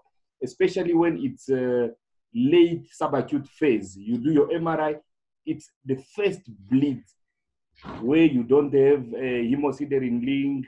Uh, it's just the first bleed at the late uh, subacute phase. How do you differentiate? How do you diagnose that this is a cavernoma comparing to a midbrain stroke? Ah, thank you very much. Uh, normally I discuss with my my colleague in the MR department. Yeah, it will be very clear uh, whether this is the hypertensive uh, bleeding or cavernoma because you can see capsule, and if, for instance, uh, you are not sure, and if the the patient condition is still very good, we don't need to be very hurry to do surgery at the time, right? Again. Uh, normally we can see capsule very clear in the cavernous angioma rupture, and which is we don't see it in the uh, hypertensive bleeding. And uh, just a very quick question. I don't know if I missed, but do you use the um, the monitoring during this kind of operation, or do you have experience with that, or what do you recommend? Uh, thank you, Rosanna. Of course, we do monitoring. So, but when the, when I started in 001, we did not have any monitoring. Again, mm-hmm. to me, the most important is again really understand the anatomy and the unseen anatomy because we should imagine, for instance, right? We go down posterior, we will we will meet the sixth track, we will meet the sixth track, etc. Uh, of course, we did monitor, but uh, again, be careful. Important is understand the unseen anatomy if possible, of course, uh, uh, try to avoid complication to make any more morbidity after surgery. But this is not very easy. I mean, don't promise to, to too big to your patient because uh, brainstem surgery is mostly medulla is really complicated. Thank you so much, Rosanna. No, beautiful, beautiful presentation and a great experience. Really impressive. Thank you very much.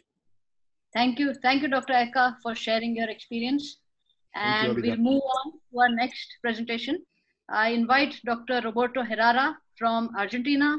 He's the head of neurosurgical services at the Belgrano Adventist Clinic, and he's also the Intra of MRI program director. And he's an eminent vascular neurosurgeon, and he's going to talk to us on complications in cerebral revascularization. Dr. Herrera. Hello, good morning, everybody. Good morning. I I'm sharing my uh, with meeting. Hmm? With meeting. Yes. Okay. With meeting. Yes. Uh, I looking, I looking for my presentation. Yes. You can click on your presentation and then it'll come. Click on my presentation. Okay. Yes. Mm. Can you see it? Yes, yes, yes. Yes, we can see it. Okay, it's okay? Yes, yes, it's okay. You can start. Yes, good morning. In my country, it is nine in the morning. Um, I'm going to talk. Uh, thank you, thank you, my friend Anila Darbar and, and the Women's in Neurosurgery for inviting me to this web meeting. Um, I'm going to talk about our experience in, in high flow bypass um, complication in this, in this reverse, brain revascularization surgery. Um, this is my country. I'm in, I'm in Buenos Aires. This is Argentina, under to Brazil in South America. And this is our clinic, Belgrano Adventist Clinic. It is located in Buenos Aires. Complications in vascularization, about uh, specifically in five two bypass. After 1985, um, this publication uh, um, respect the Canadian study, the aspirin was a true executioner of the bypass surgery for almost 30 years or and, and more too. Fortunately, many neurosurgeons continue doing this kind of bypass surgery. And Professor um, Sundt published in 1987 this important work about uh, revascularization surgery in the brain. Um, this bypass was made for me in 1987. Um, for the patient to, take she, she take this CT scan, uh, and you can see bypass was patent patency 28 years after the surgery. I did this bypass, uh, um, I think 30, 31 years ago. Bypass was patent 28 years after surgery, and this picture was taken um, three or four years ago. This is another case, angio CT, 23 years after surgery.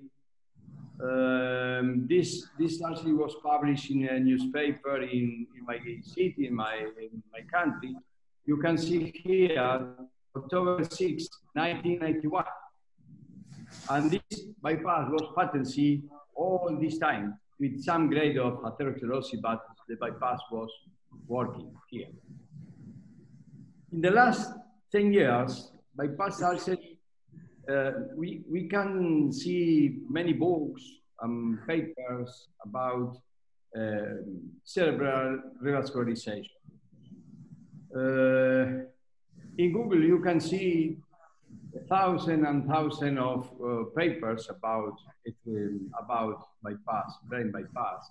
In the main web page of the university the, the, around the world, you can see uh, bypass surgery videos, records in, in, in, YouTube, uh, courses around all the world, microvascular robotic, uh, anastomosis, um, and the bypass surgery back to the cover of the main journal of neurosurgery in the world. 30, more than 30 years after Canadian study. In our department, these are the, the main indication for to do uh, high flow bypass.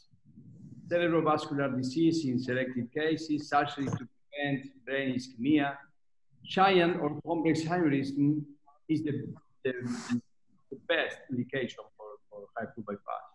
Tumors that involve internal carotid artery and carotid cavernous fistula, when this cannot be solved by endovascular way.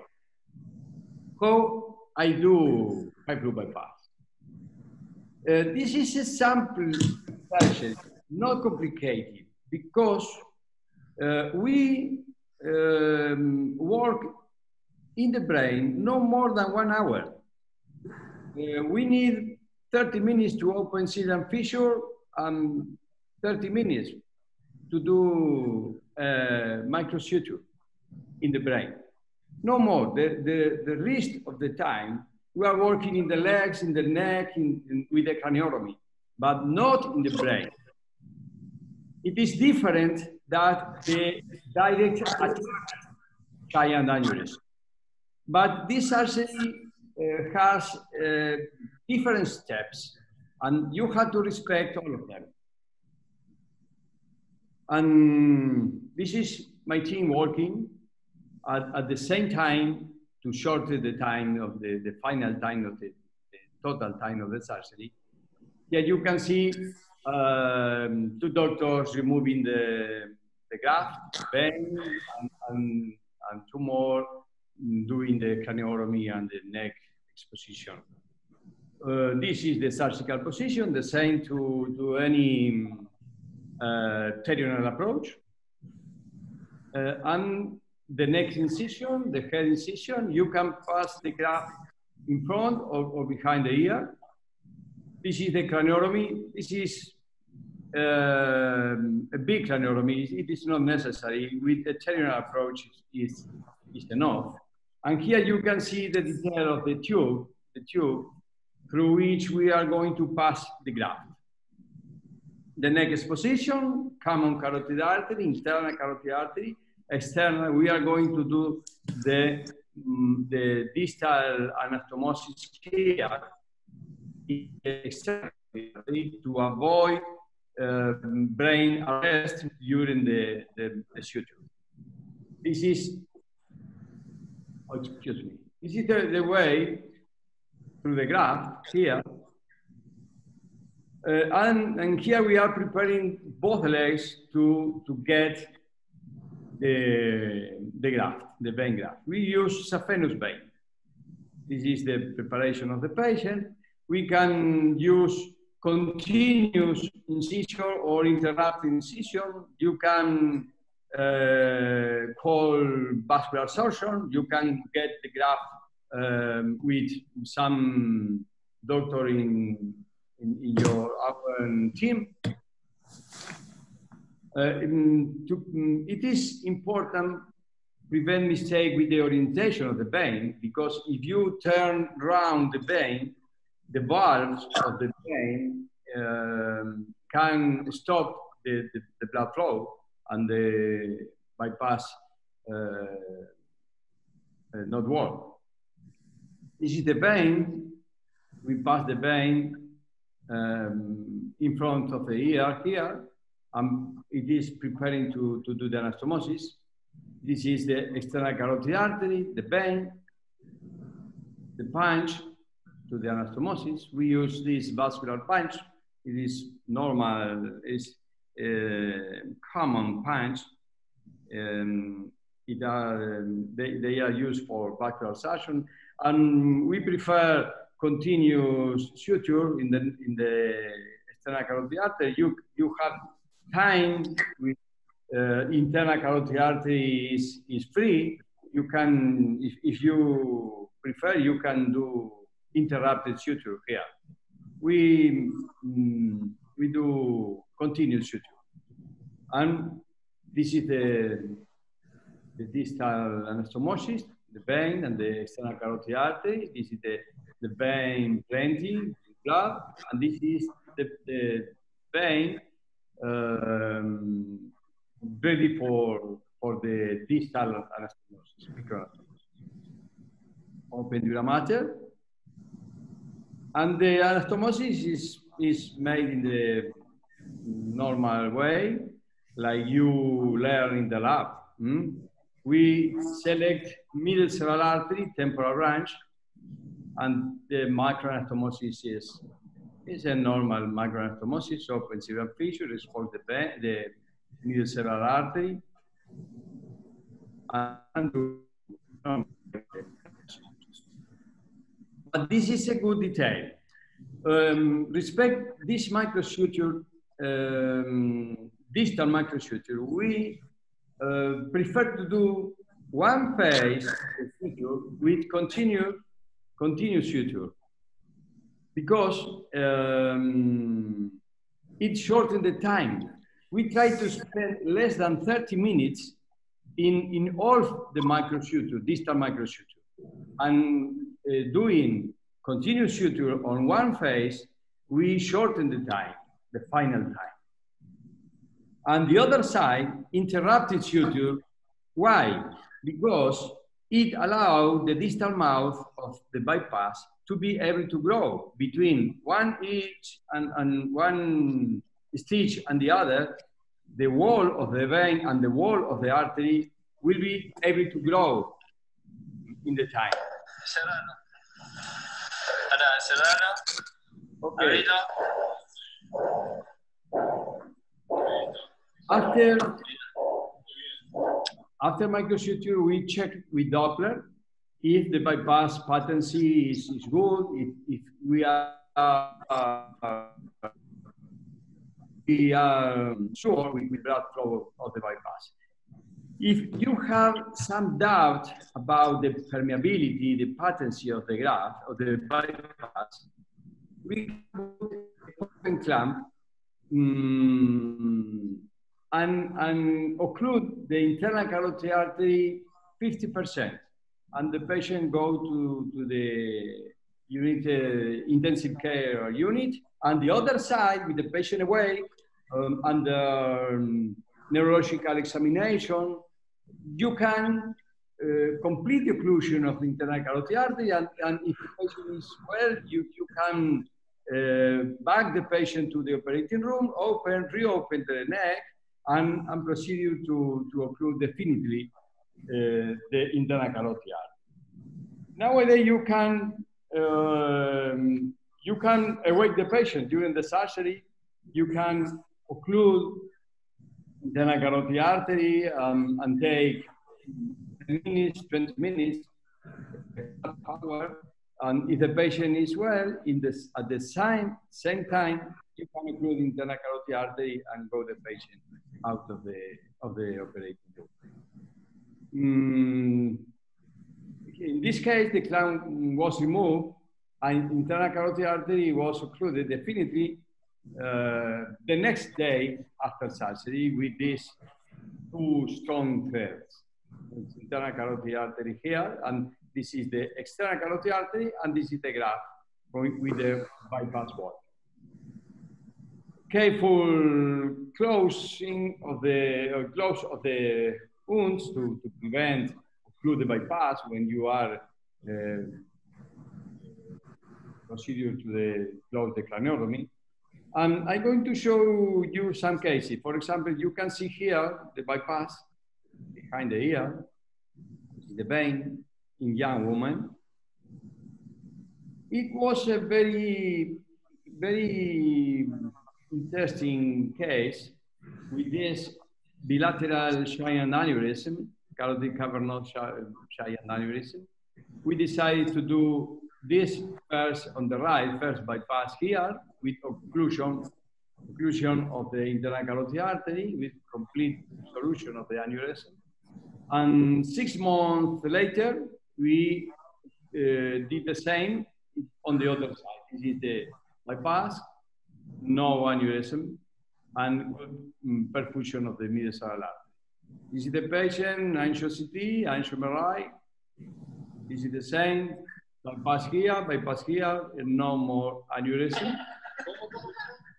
And this is, this is the patient, you can see the bypass grow.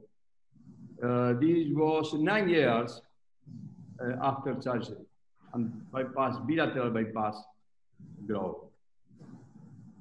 Uh, subcutaneous hematoma are minor complication. You can, you can see this complication, but you can see this kind of complication with subcutaneous hematoma in the course of the graft with this spasm or partial occlusion of the graft. And in this case, it is necessary to remove the clot. Uh, this is the same. You can see here the vein is thin. Hmm? In this case, it was necessary to remove the clot to, to preserve the bypass. Extradural or subdural hematoma are complications. Complication could spoil completely the surgery. It is important to prevent subdural hematoma in these cases. Uh, we have this case with refilling of the aneurysm, and we treat it through the bypass because we don't, don't it doesn't uh, has internal carotid artery, and we did endovascular treatment with coils in the aneurysm and complete occlusion of this refilling of the aneurysm, and the bypass was completely permanent. This is the same. This is another unexpected complication. It is important to um, have all the, the surgical field under the vision of the researcher because this area was uh, occluded by the, the surgical field and uh, we broke the, the skin with the patch pin when we are going, we, we, we pass the, the gap. Mm -hmm. We finished the, uh, the, surgery, removed the surgical field, and we found this. We, we find, found this. We resolved this complication, opening skin, putting the, the graft under the skin and, and closing, closing the, the wounds, and the patient was well, no, no infection. This is the same. Uh, the age of the patient is not a problem to make a high flow bypass.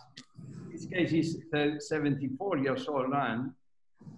Here you can see the bypass, no aneurysm here. This is the patient. This is the, the bypass working here. Hmm? Deepest in the Sylvian fissure, and, and this is the bypass after the, behind the, the ear and the patient. The high flow bypass can be done in case of acute bleeding. Mm, this patient, 53 years, here you can see the hematoma here because acute subarachnoid hemorrhagia. Mm, the bypass, the thrombosis, the aneurysm, and this is the patient I'm on a webinar right now. Something. after surgery and the patient six months after surgery completely recovery. And you can do high flow bypass in, in children too. This and, and in, in previously uh, embolized aneurysm. The high pass can be done in case of previously embolized aneurysm in children. You can see this huge aneurysm here, post-traumatic aneurysm. We decided to do high flow bypass. This is the bypass. Eh? Proximal suture, distal suture. This is the bypass. This is uh, um, angio MRI with occlusion of the aneurysm. And this is uh, digital angiography, the coils at complete occlusion of the aneurysm, preserving the distal brain circulation. And this is the patient six months uh, after the, the surgery. Um, respect the bibliography, you can see that the bypass it, um, it has the best results endovascular treatment, if you review the bibliography, you can see mm, uh, with endovascular treatment, we have 20% morbidity, 40 uh, percent, 14% mortality. While in direct attack, uh, this is mm, 18 the all morbidity and 11 in mortality. But in bypass surgery, you have 11 poor results and only 5% of mortality. This is 84% of occlusion, definitely, the definitive occlusion of the aneurysm. Again, 40% in endovascular treatment and 71 in, in direct attack. We have to consider this, by this technique in the treatment of some pathology nowadays. Uh, and this is my question. Why bypass surgery was always the best treatment or a good treatment for complex and giant aneurysm and practically, practically was not taken into account for almost 30 years. Um, we have to review this, this concept.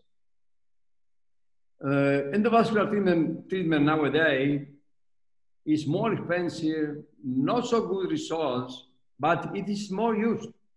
And uh, bypass is the cheapest treatment with the best results and um, less used nowadays. Cardiosurgeon responsibility in this, can we change, change this? I think we have to consider, reconsider the bypass surgery and the high flow bypass surgery um, in, in many pathologies. Mm, uh, and I think neurosurgeons uh, uh, this concept nowadays. Um, and I think in the next year we we will go many works, many papers um, about the application of uh, in skill-based surgery of the, the different techniques of the bypass. Thank you very much, um, and thank you all women in neurosurgery for inviting for inviting. Thank you. It is my pleasure to invite Dr. Anil Nanda. Everyone knows him as a doyen of skull base and vascular neurosurgery. He is currently the professor and chairman at the Department of Neurosurgery at Rutgers, New Jersey. And he is involved in a lot of educational activities of the AANS and the CNS. Uh, Dr. Anil Nanda, welcome.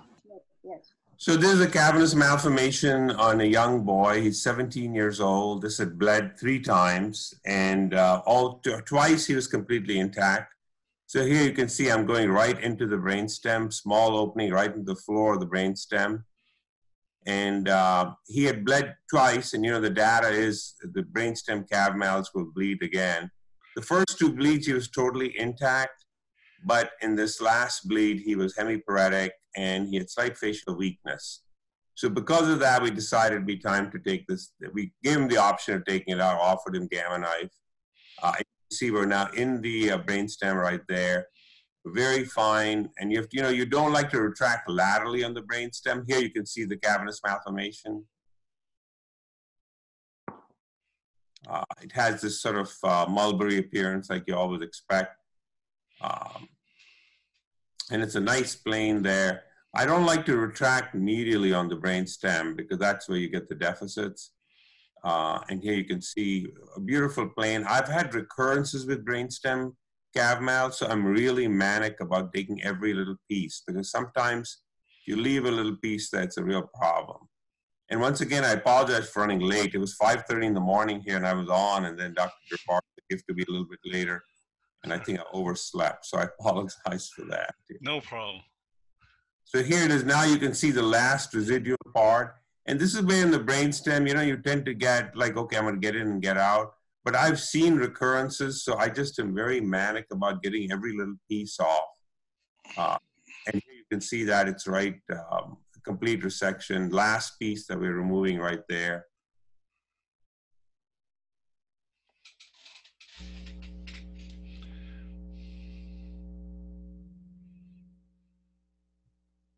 Here you can see mulberry appearance, yeah. And here I like FloSeal right there in the center of the brain stem.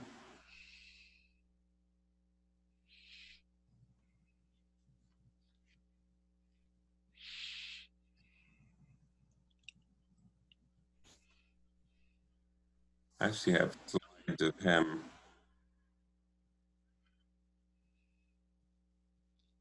Just making sure complete hemostasis with these, you know, because I really like using FloSeal inside the brain stem, but any hemostatic agent is fine. I think you have to be really cautious that everything is completely clean.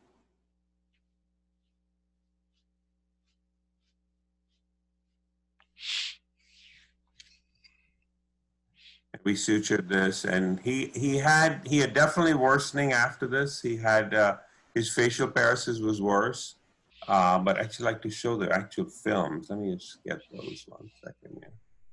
Um, I'm going to try and those out. But anyway very well and I, I just think I, you know I have a series of these brainstem lesions. You have to be very meticulous. I know Eka just presented that he likes to go in the sitting position. I like to do these, um, you know, I, I, I, either go from the back or I'll go interhemispheric as well. So I like to have the, the uh, brainstem fall to the side and then go through the occipital lobe. Uh, let me just see this again. I'm trying to see if I can actually get to the eight films here.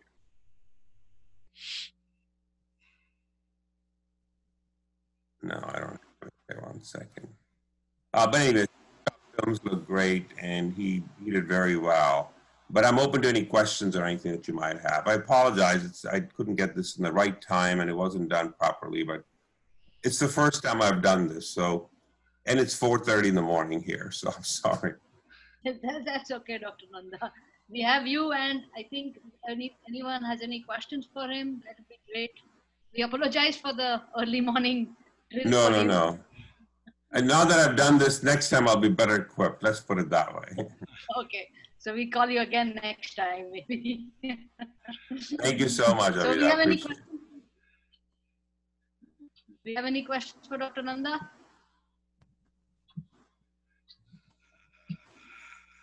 Okay, so thank you uh, so thank much. You.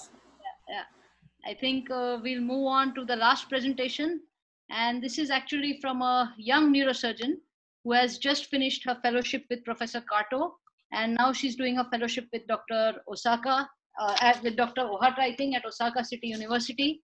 And she's going to be talking to us on a recent study on demystifying white matter injuries in aneurysmal SH with DTI. Dr. Sneha Chitra, she's from India. She's uh, trained in South South of India, and now she's in Japan. Dr. Sneha, are you there? Yes, can you hear me?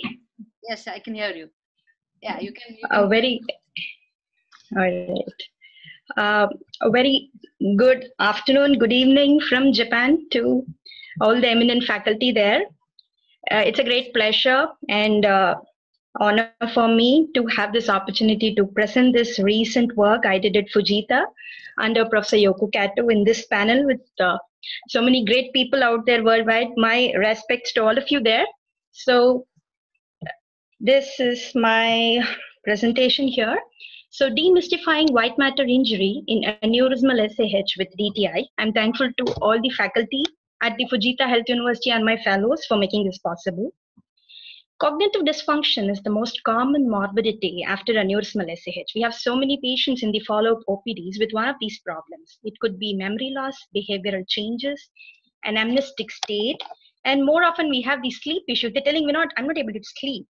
And these are the manageable ones. We have patients at the other end of the spectrum who are minimally conscious or in the vegetative state. It could be transient, three to six months is the usual recovery time, or unfortunately permanent in a few patients.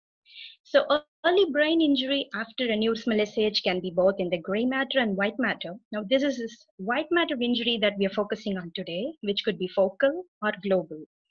It could be due to the blood-brain barrier disruption, neuroinflammation, or ischemic and oxidative stress, or the direct mechanical disruption of the fibers due to the hemorrhage. Now, it is this undetected white matter injury which is not picked up on conventional imaging That is the reason for the cognitive decline in these patients.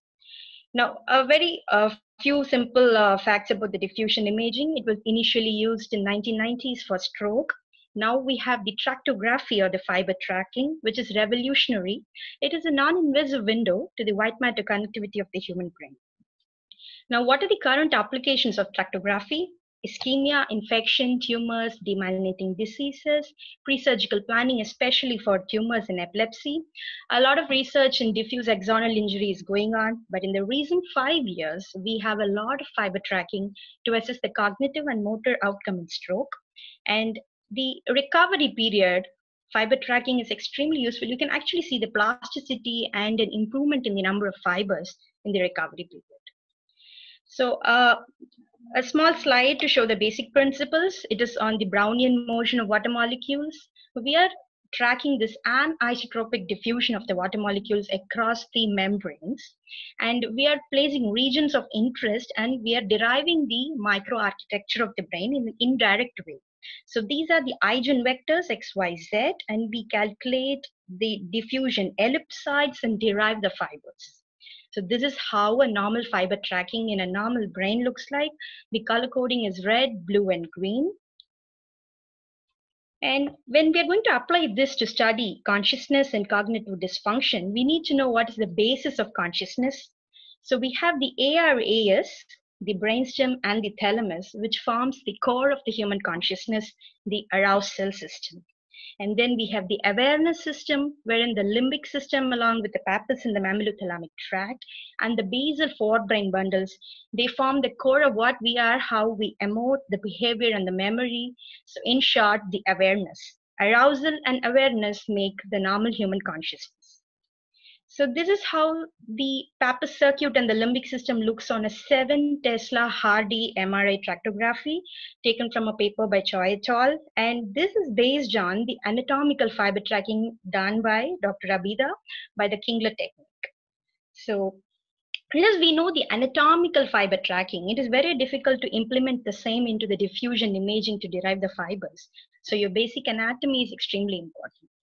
This is the ascending reticular activating system tracking done by Rubiano et al. We see these four brain tracts which are extremely important and found these impaired in most of our patients. Now, what we did in Fujita was to do the tractography in the post-operative aneurysm patients with cognitive dysfunction. This was a rupture ACOM aneurysm with a GCS of 13, a Hunt and Hess of 4. The patient was clipped immediately. This is the post-op CT. The patient continued to remain in E2VT M5, had a very stormy postoperative case, had to undergo a decompression and a shunt. This is the MRI at six weeks. This is the shunt related artifact. And the DTI is showing significant white matter damage. This is the cingulum and the fornix on the right side, shunt related artifact, and on the left, these are completely absent.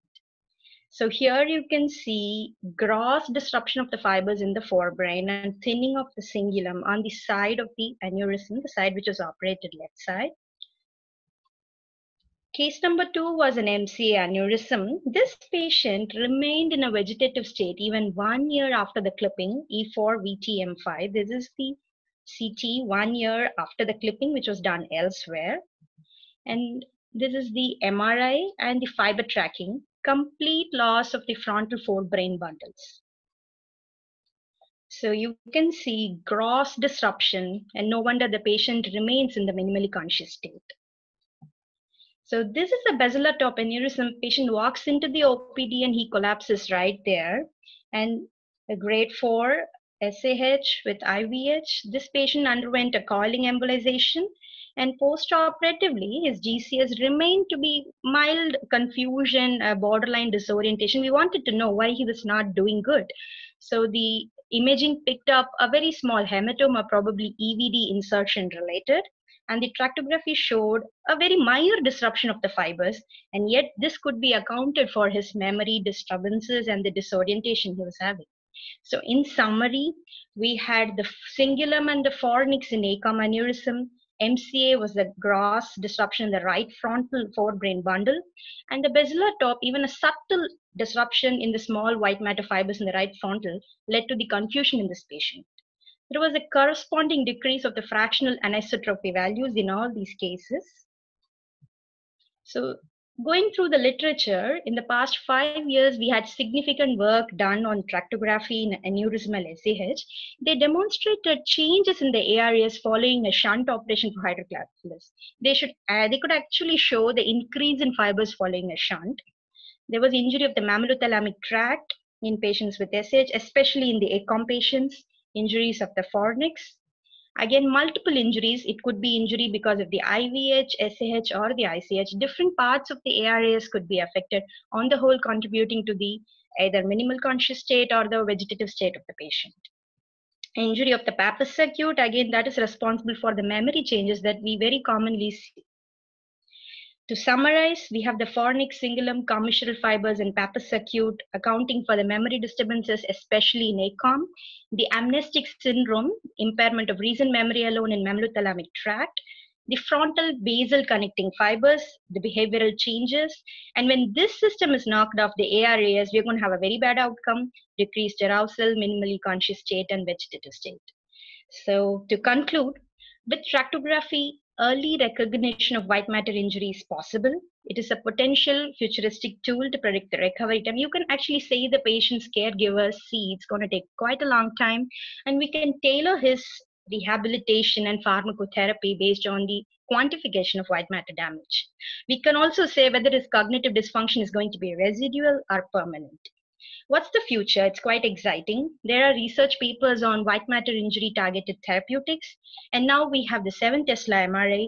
Now, when this is applied for fiber tracking, we can even detect the smallest of white fibers and improve the accuracy of saying, hey, that is where the exact damage is. This is how our post-op patient is going to do. I'm once again extremely thankful for this opportunity to present my research paper. Thank you very much. Thank you, Sneha. That is great work and I wish you all the best and that you continue doing Thank you. work. So this comes we come to an end to our seminar. Dr. Sharon has just finished her clipping, but she won't be able to reach on time to do a presentation. So now we have a couple five minutes if we have any mutual discussion or any questions for anybody. Anila, unmute yourself. I have a question uh, for Dr. Sneha. Dr. Sneha, I want to ask you, um, uh, was your DTI done before the clipping or after the clipping? I believe it's after the clipping.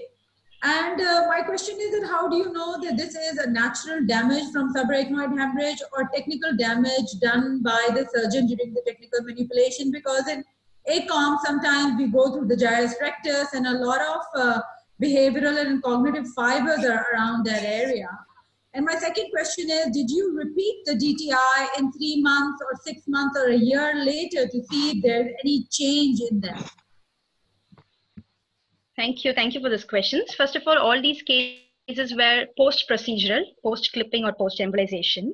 And yes, very correctly pointed out, the surgical damage is a part of the damage that's caused in addition to the primary uh, damage caused by the hemorrhage.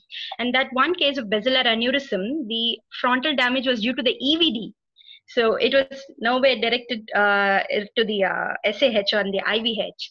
And regarding the second question, yes, we propose to follow up these patients at three and six months. This was done last month. All these patients were collected over the last 30 days. So we have a proposal to follow up at three months and six months, and there are research papers which have shown the recovery in form of uh, increase in number of tracks and improvement in the FA values when they were followed up at three and six months.